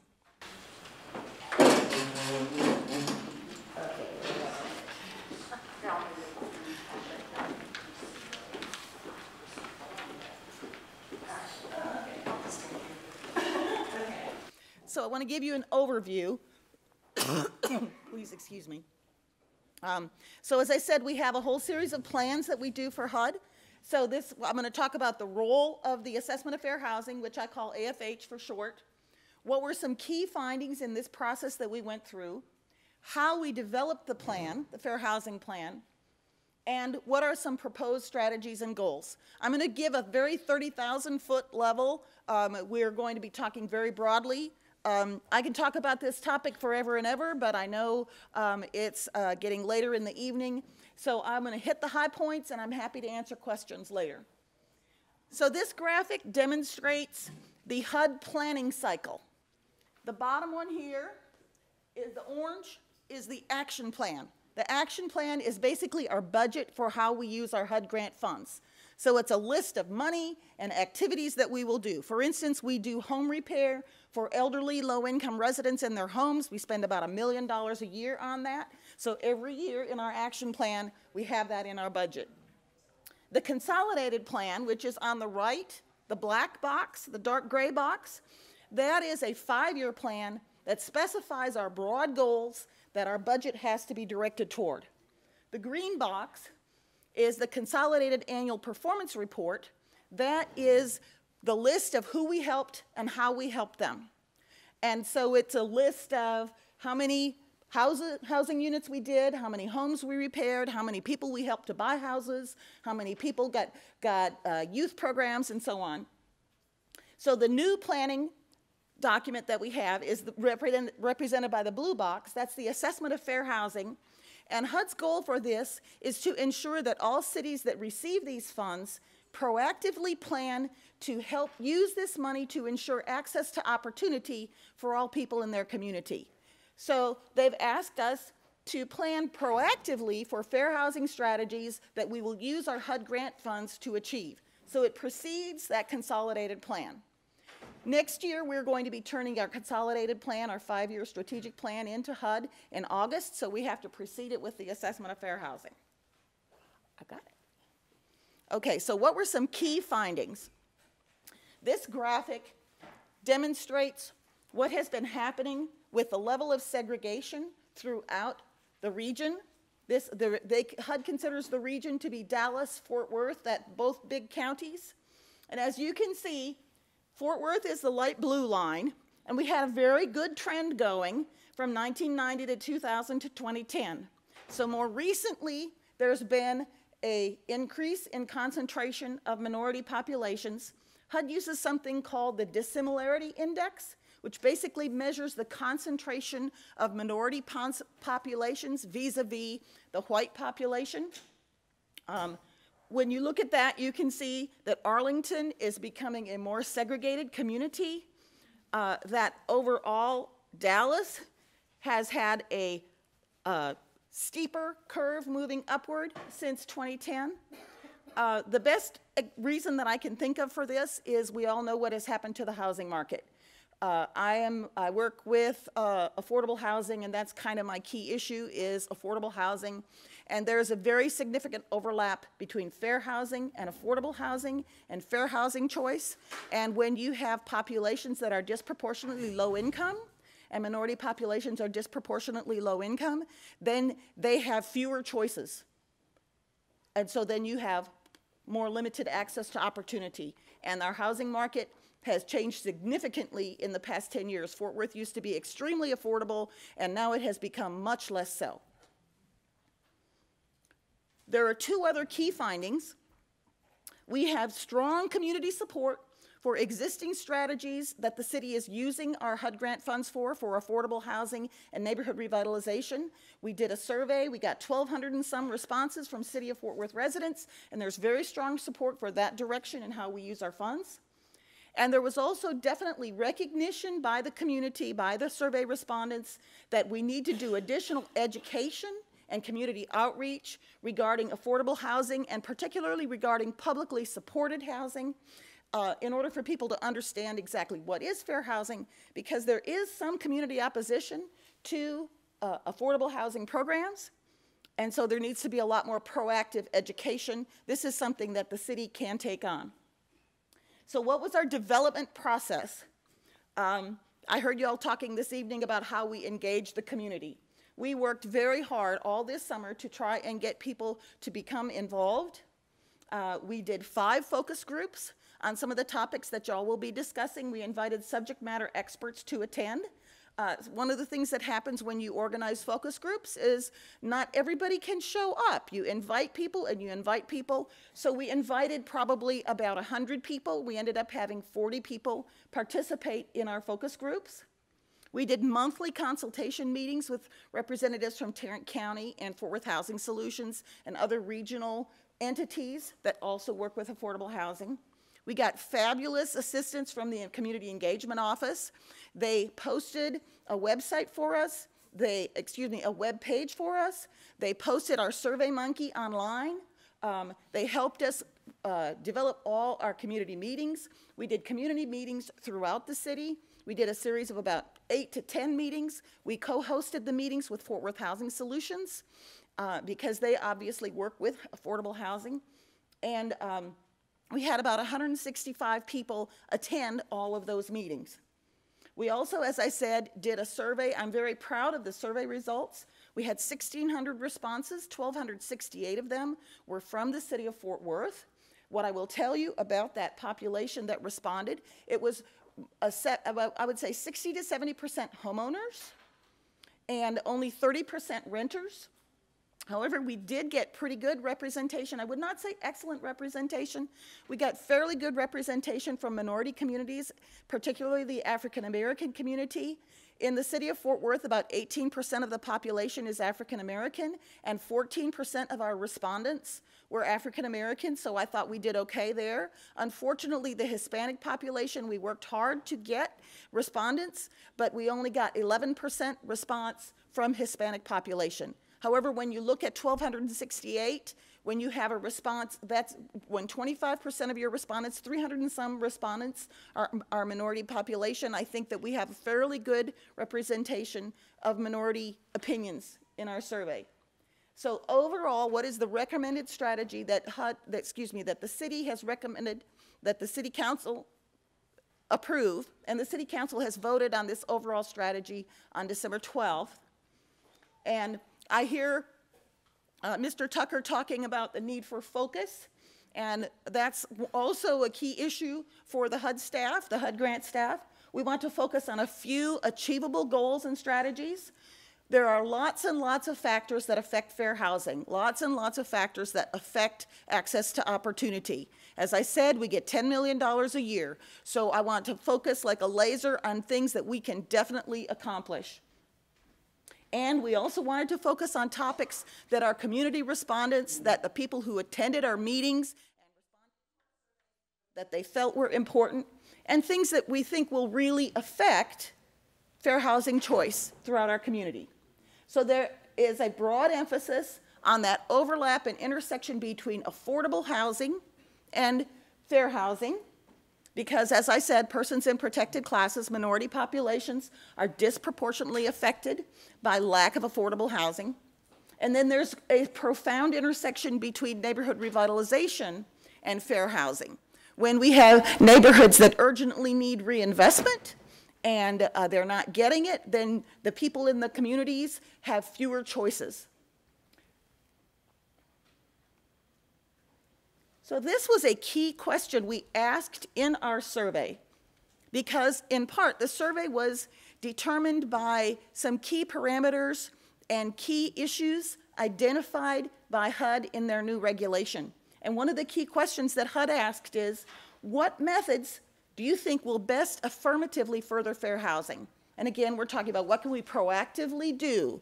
Uh, y'all know Angie Rush and her Human Relations Unit. They do fair housing enforcement. So they're kind of on the back end. We're trying to be on the front end. What can we proactively do?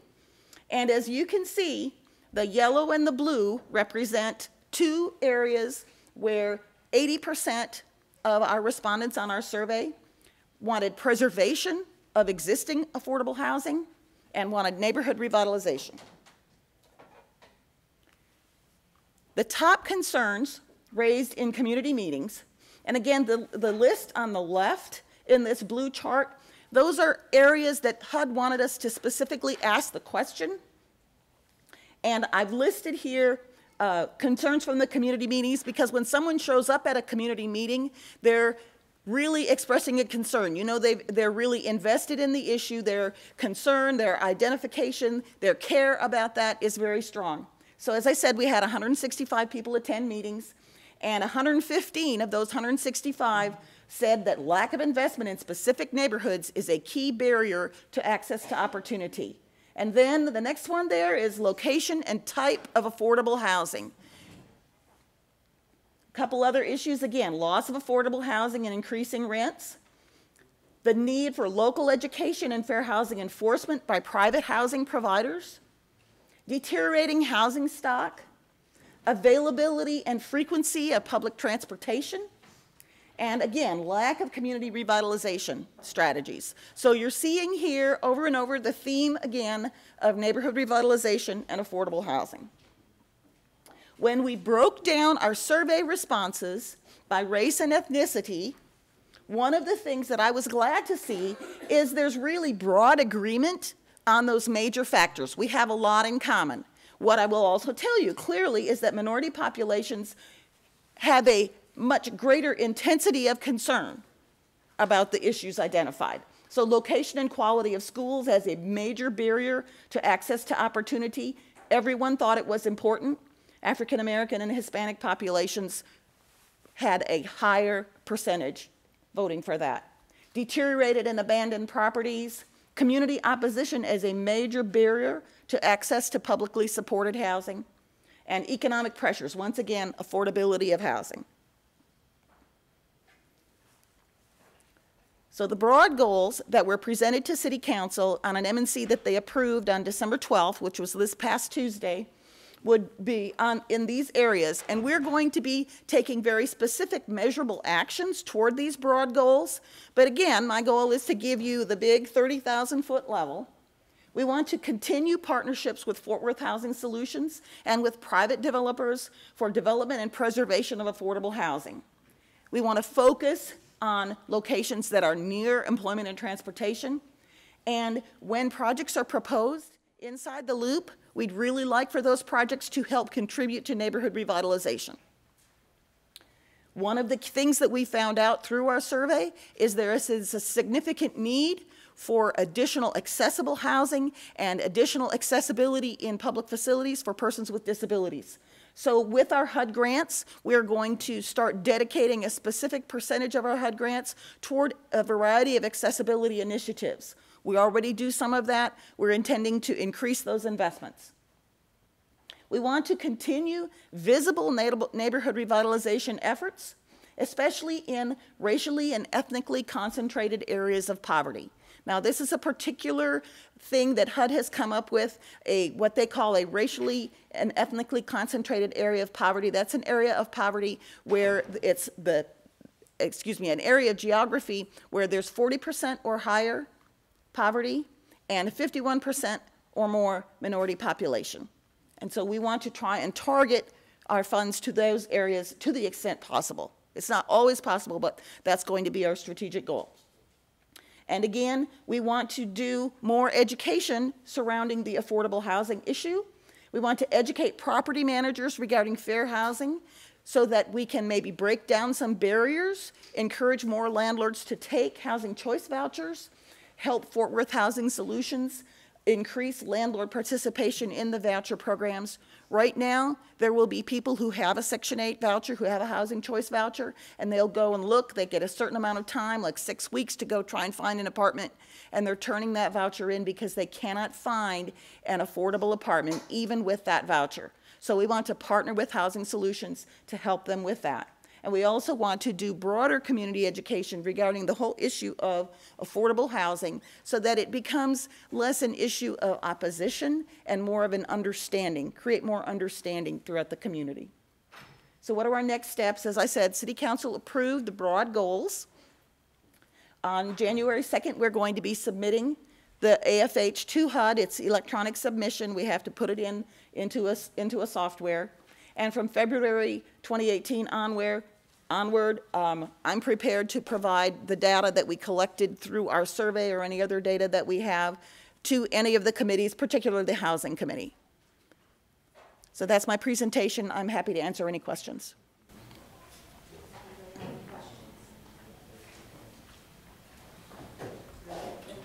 Thank you.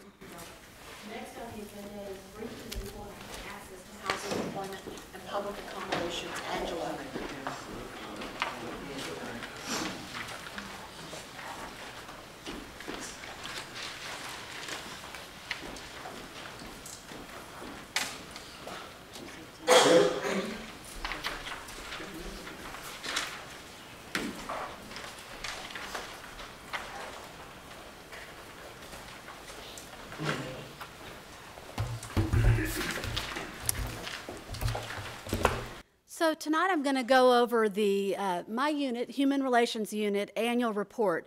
We are a um, certified fair employment practice agency, which means that we can investigate complaints on behalf of EEOC and the Texas Workforce Commission. And we are a fair housing assistance program, which means that we can accept complaints on behalf of HUD and do investigations on those as well as on behalf of the Texas Workforce Commission. And just so you know, um, we have been a FAP agency, which is that Fair Housing Assistance Program, for at least 33 years. We were one of the first in Texas. Um, and we have been a FEPA for over 40 years. So, in order to become a FAP or FEPA, you have to have substantially equivalent laws, which we do. And then, once you ha- have established those substantially equivalent laws, you have to show that you have capacity to do the investigations. The reason I mention this is that there are several cities in the uh, state of Texas that you would think that have a FAP or a FEPA agency, but they don't. San Antonio does not have a FAP or FEPA, neither does Houston. In Texas, FAP, there is only Austin, Corpus Christi, Garland, Dallas, and us, and then the Texas Workforce Commission. And FEPA, that's even less. Dallas is not a FEPA, we are. Um, Corpus Christi is, Austin is, and the Texas Workforce Commission. So you have to prove that capacity. San Antonio is working on it, but they just recently got the substantially equivalent law, so they've got to now prove that they have the capacity to do the investigations. So in fiscal year 2017, um, we took in 198 fair housing complaints. And, and for the fiscal year, that falls in October 1st, 2016 through September 30th, 2017. The basis for those fair housing complaints, people can full, uh, file a complaint on multiple bases. They could file, say, on I'm disabled and African American, and that is why I'm being treated in a uh, unequal manner.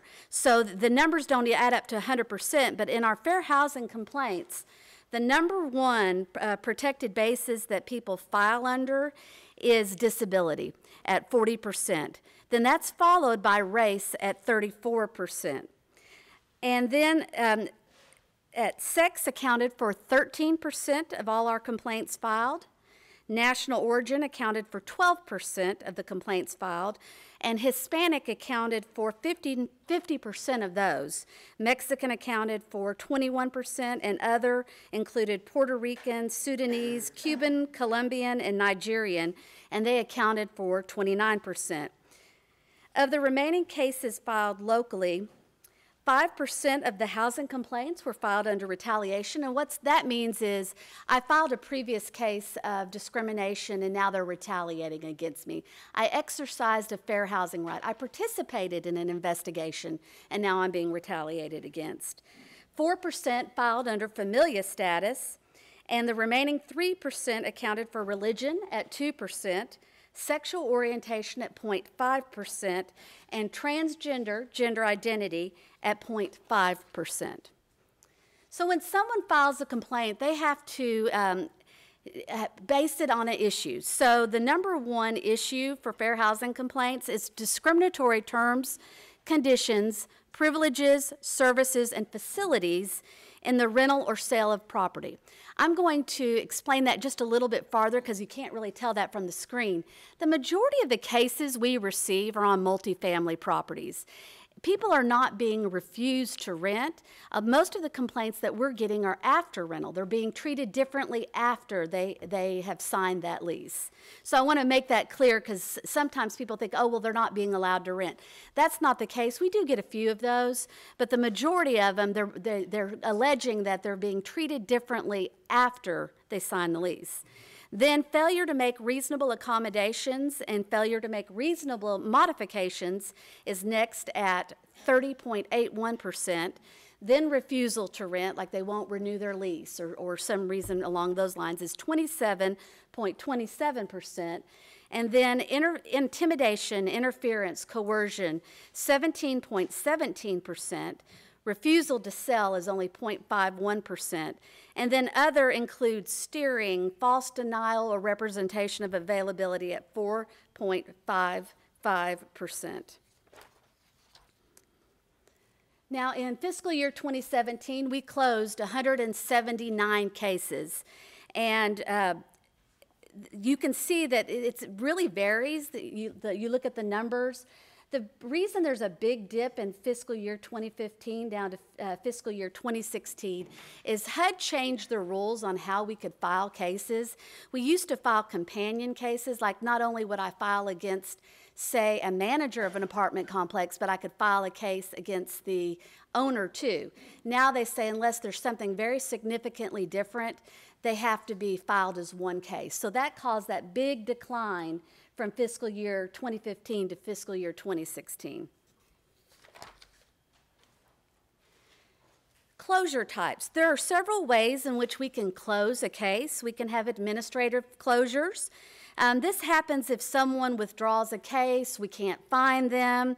Um, we can, if we don't have jurisdiction over it, if we took the case and then as we look into it, um, the individual, the property only uh, owner only owns two properties. That's not covered under uh, the Fair Housing Act. Um, if those are the type of administrative closures. So in fiscal year 2017, we had zero administrative closures or someone could conciliate, settle, or withdraw with resolution.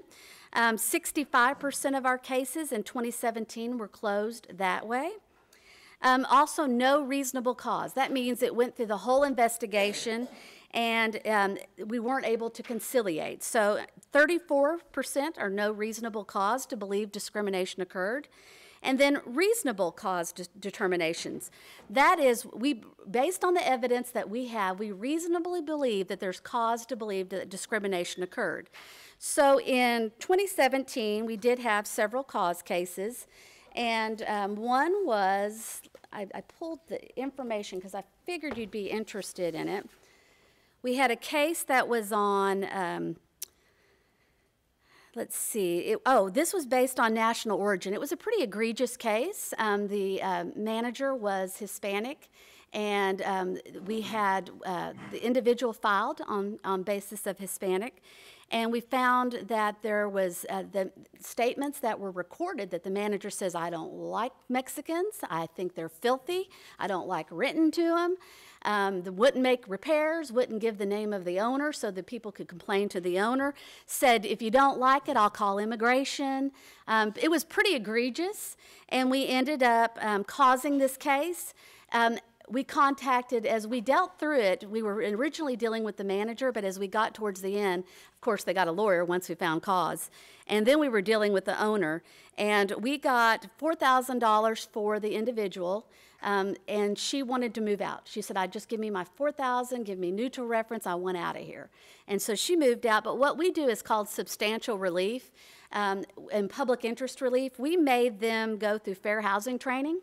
We made them go through customer service training. We made them put up our fair housing posters throughout the complex. Um, we made them disseminate tenant and housing information cards. We also, um, we had them prepare a fair housing uh, policy statement they have to give all new tenants. And then because of some of the problems that had to do with repairs, like instead of fixing a lock on a front door, they put a padlock on it, which is definitely a safety issue. We had a code do blitzes on the property and subject them to these blitzes until they got this property, um, some of the major code issues fixed. Then we had another cause case that was based on familial status. This was overly restrictive rules. Um, this particular property said if you, unless you were 18 years old, you could not be out like walking the dog. You could not go to the laundry room. You could not use the swimming pool. And we said, no, no, no, no. Um, and we found cause. Um, there's some pretty good legal cases out there on that. And we got compensation. Um, the individual got um, two months' rent reimbursed to her. We made them revise their policy, go through uh, training. We asked that they do affirmative advertising. And then um, Oh, and we also, and all these ones that I talk about, the things that we require them to do, we monitor that, and we can monitor that up to a year or so. We have access Uh, they have to agree to give us access to their records. We ask that they provide us proof of training. So we actually monitor all these conciliation agreements. So the timeliness of fair housing investigations, we're required to do, uh, hopefully to do them within 100 days. Now, there are some cases that are just complex and we can't, but the uh, HUD's measure is 100 days. So our average is 79 days.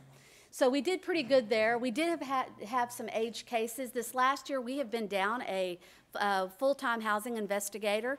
We filled the position, and then the individual did not work out, so we still have that vacancy. And that's been a vacancy for almost a year because the original person in that position um, went out on medical leave for months. And then when they came back, they came back for a couple of months and then they notified us they were leaving. So that really has impacted our timeliness of our cases. And then our settlements. Now, these are settlements for the people that have provided the information. Some in their, their settlement agreements, they have a non-disclosure clause and they don't let us know. But for the ones that do, in fiscal year 2017, we collected $124,000 on behalf of our complainants. So fair employment. In 2017, we had 125 charges. They're called charges in employment. We deferred 43 cases. When I say defer, there's either a conflict of interest or it's usually not jur uh, jurisdictional to the city of Fort Worth. Um, EEO asks us to take those complaints, perfect those complaints, and then they pay us to do that on their behalf. And then we send them on to EEOC. So we had 43 complaints that weren't jurisdictional to us that we sent on to EEOC. And the basis for uh, employment charges, and there's a, I see an error there, it's fiscal year 2017 on the bottom. Um, the majority, it was pretty much a tie between um, uh, disability and retaliation. Um, basically, I opposed a discriminatory practice at work, and because of that, now they're picking on me. And then we had 17% that were based on national origin. We had 22% based on age, 34% based on race, and 21% based on sex. And we had uh, smaller numbers for sexual orientation, 3%, um, and we had religion at 2%. So those, those are typically pretty small. And there's the full report in your binder under five, and you'll even see HUD statistics in the columns so you can compare what our numbers are to what the national numbers are also. So the number one issue in, in employment was terms and condition at 81%, and that's been consistent for years. And then discharge, I was let go, 59%, uh, or I was disciplined, 27%. Constructive discharge, the difference between discharge and constructive discharge, constructive discharge is you've made my life so miserable I had no option but to quit. That's what constructive discharge is. Then sexual harassment, 10%, reasonable accommodations, 8%, uh, percent, suspension, 8%, assignments, 6%, demotion, 5%, hiring 4%, and then all others added up to 8%, and that included harassment, wages, layoff, benefits, reference, training, uh, recall from layoffs.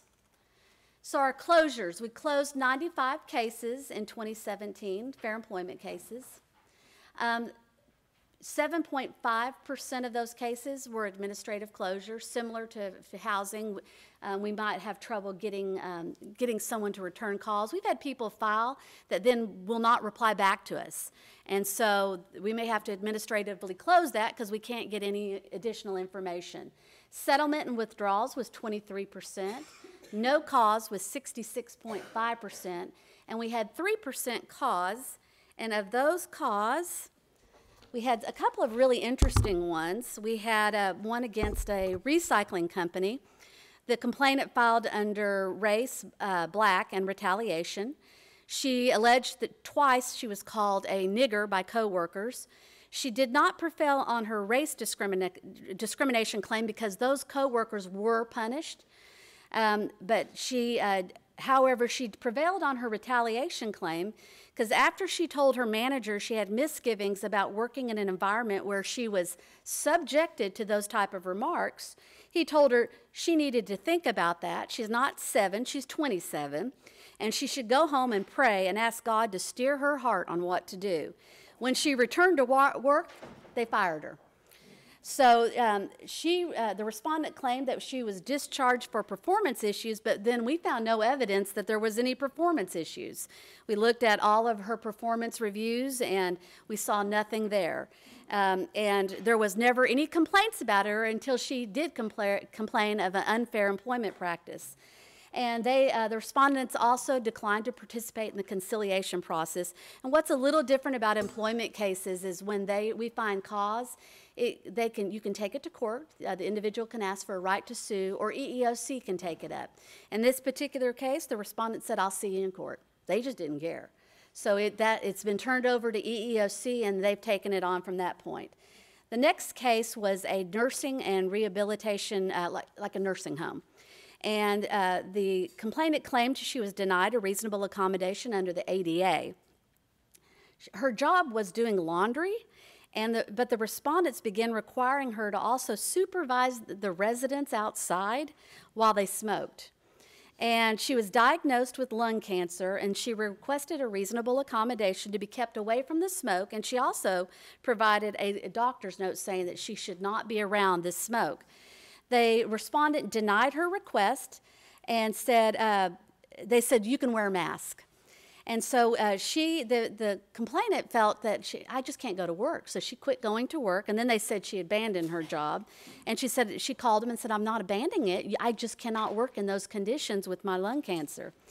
And so what we did is we looked at the essential uh, functions of the job. And in nowhere does someone doing laundry require to supervise people outside smoking. That, that, that didn't fly.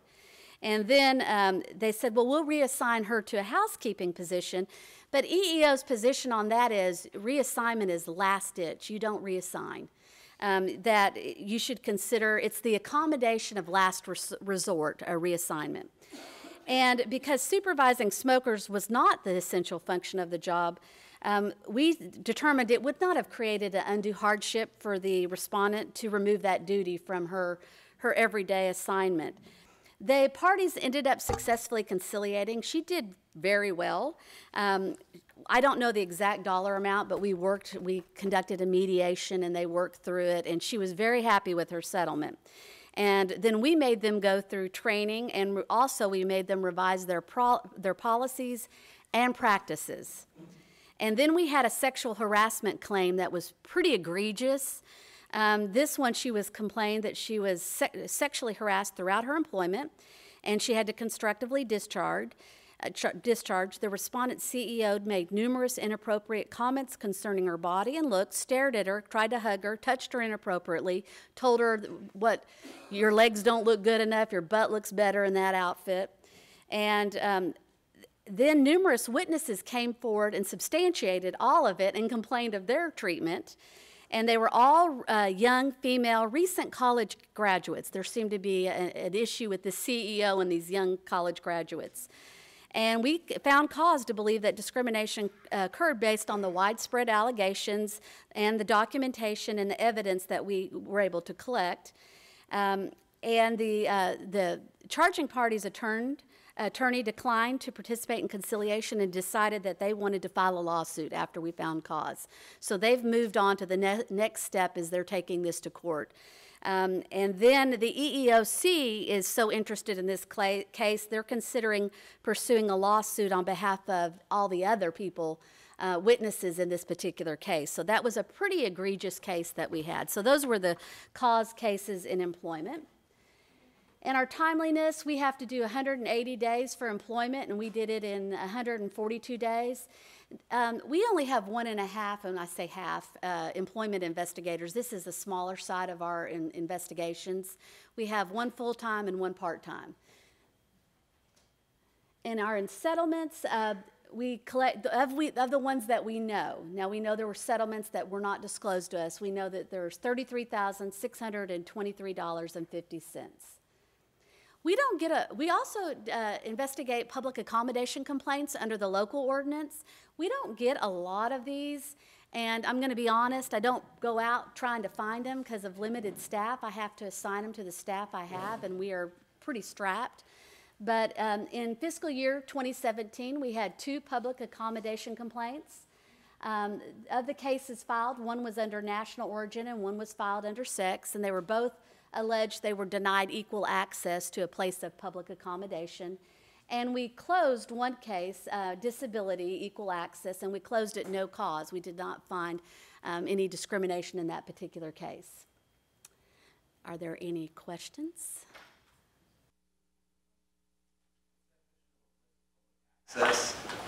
That's any place, under our ordinance, we can, any place that charges money, any place, uh, a city facility, a public facility, any place like that. There are ex ex exemptions for churches and some schools, um, but uh, pretty much any place that someone goes, a, a convenience store, a restaurant, any place such as that, that's a place of public accommodation.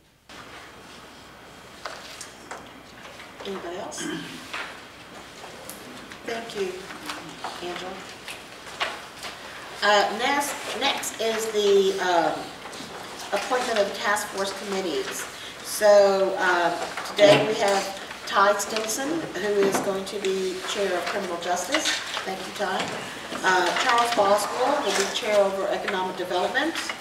Uh, Bob Goldberg and Robert Fernandez are going to be co-chairs over education and Yolanda Harper over health, and Katie Sherman over housing.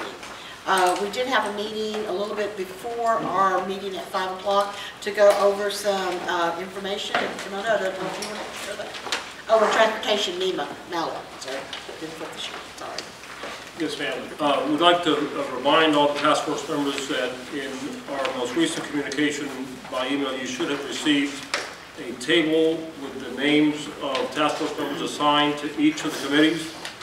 Uh, If you want to change anything about the table, now is the time to let us know. Uh, Madam Chair, we did hear from uh, Mr. Dansby before he had to leave that he would like to be added to the Economic Development Committee, and uh, we're happy to do so at his request.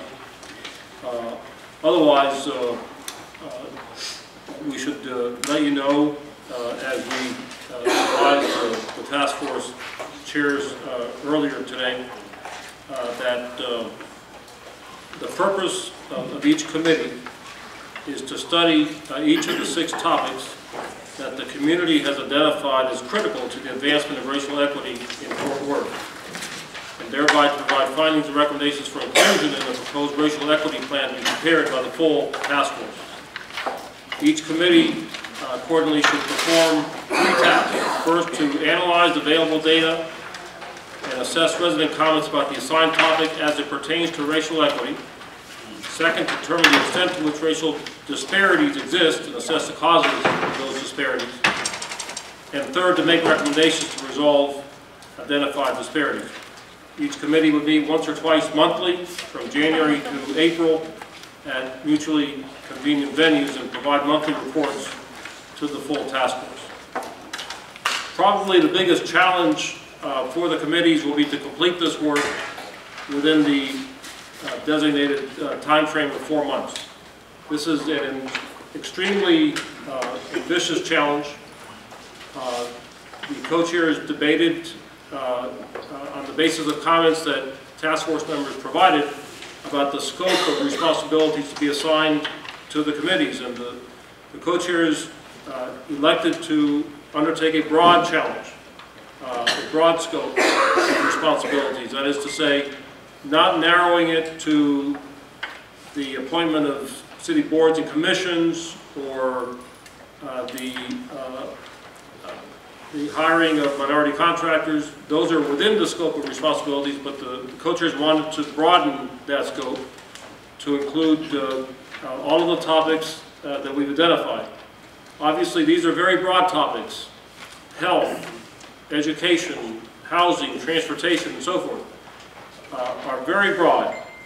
Uh, each of these topics has been the subject of extensive study by various groups, not only nationally, but here in Fort Worth.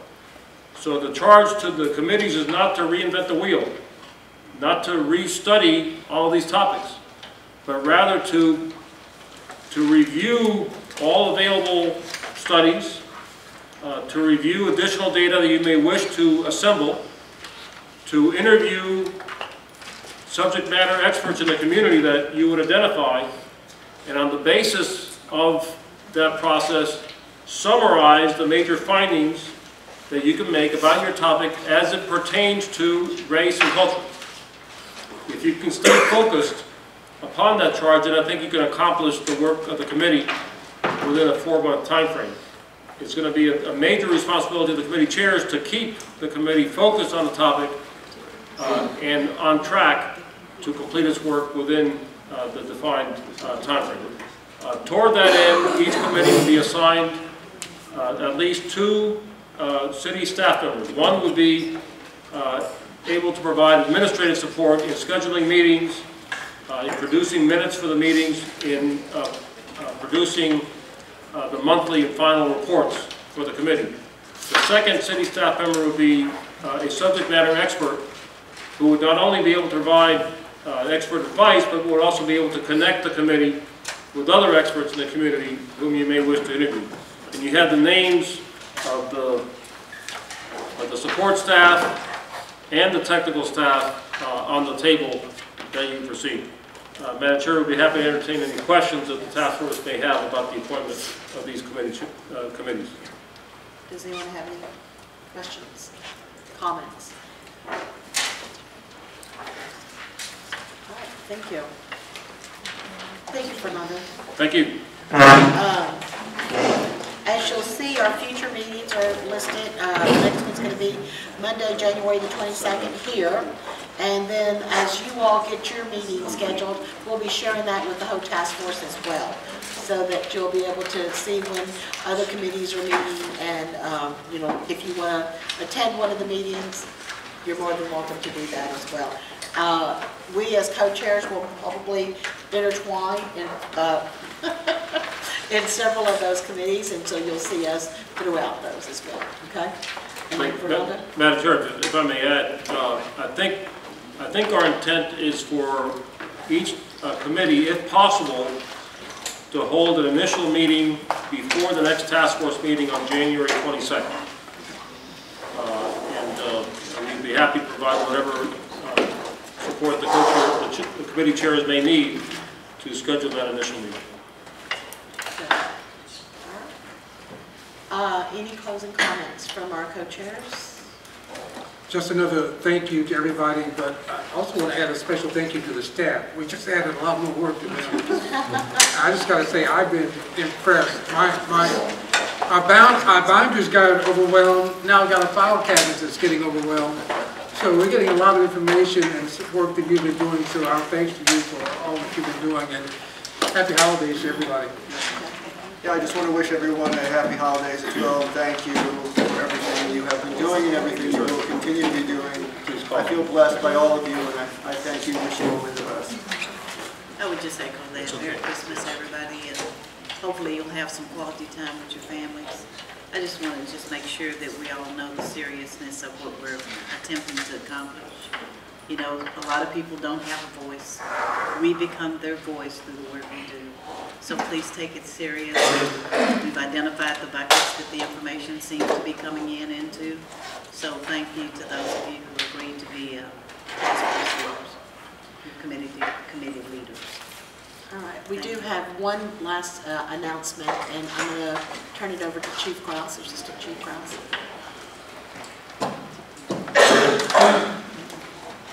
Thank you very much. I'm Assistant Chief Ed Kraus, uh, with the Patrol Bureau. Uh, Fitzgerald is not here today. He's been dealing with a personnel issue most of the afternoon and into this evening. Um, not on the agenda today. It's an open, uh, an open meeting with agenda, so we're not going to get into a full discussion of it. But out of respect for you and the appreciation for the work y'all are doing, we want to give you a heads up on an incident that has occurred before. Police department. Um, We had an arrest Jackie Craig Craigino that surfaced last year. Um, this incident was uncovered by one of our commanders and sent to internal affairs for review. The case was sent to chief uh, for discipline, and today he has terminated the sergeant that was involved in that incident. He also decided we would go ahead and release the video, and that is being done as we speak. The media outlets will have it this evening along with a statement from the police department. Uh, we will make an opportunity if this uh, commission, as this task force wishes, to uh, provide an opportunity at, at a future meeting for the chief to come and discuss the incident, and review the video as a group. So, thank you.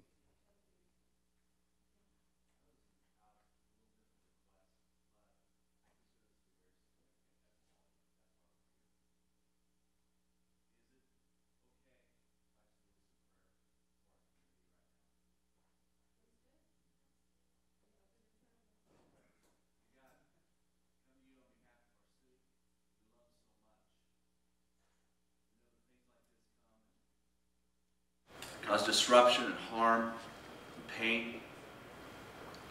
I pray that your peace will overwhelm, your wisdom will be upon every person who needs to make the right decisions at these times.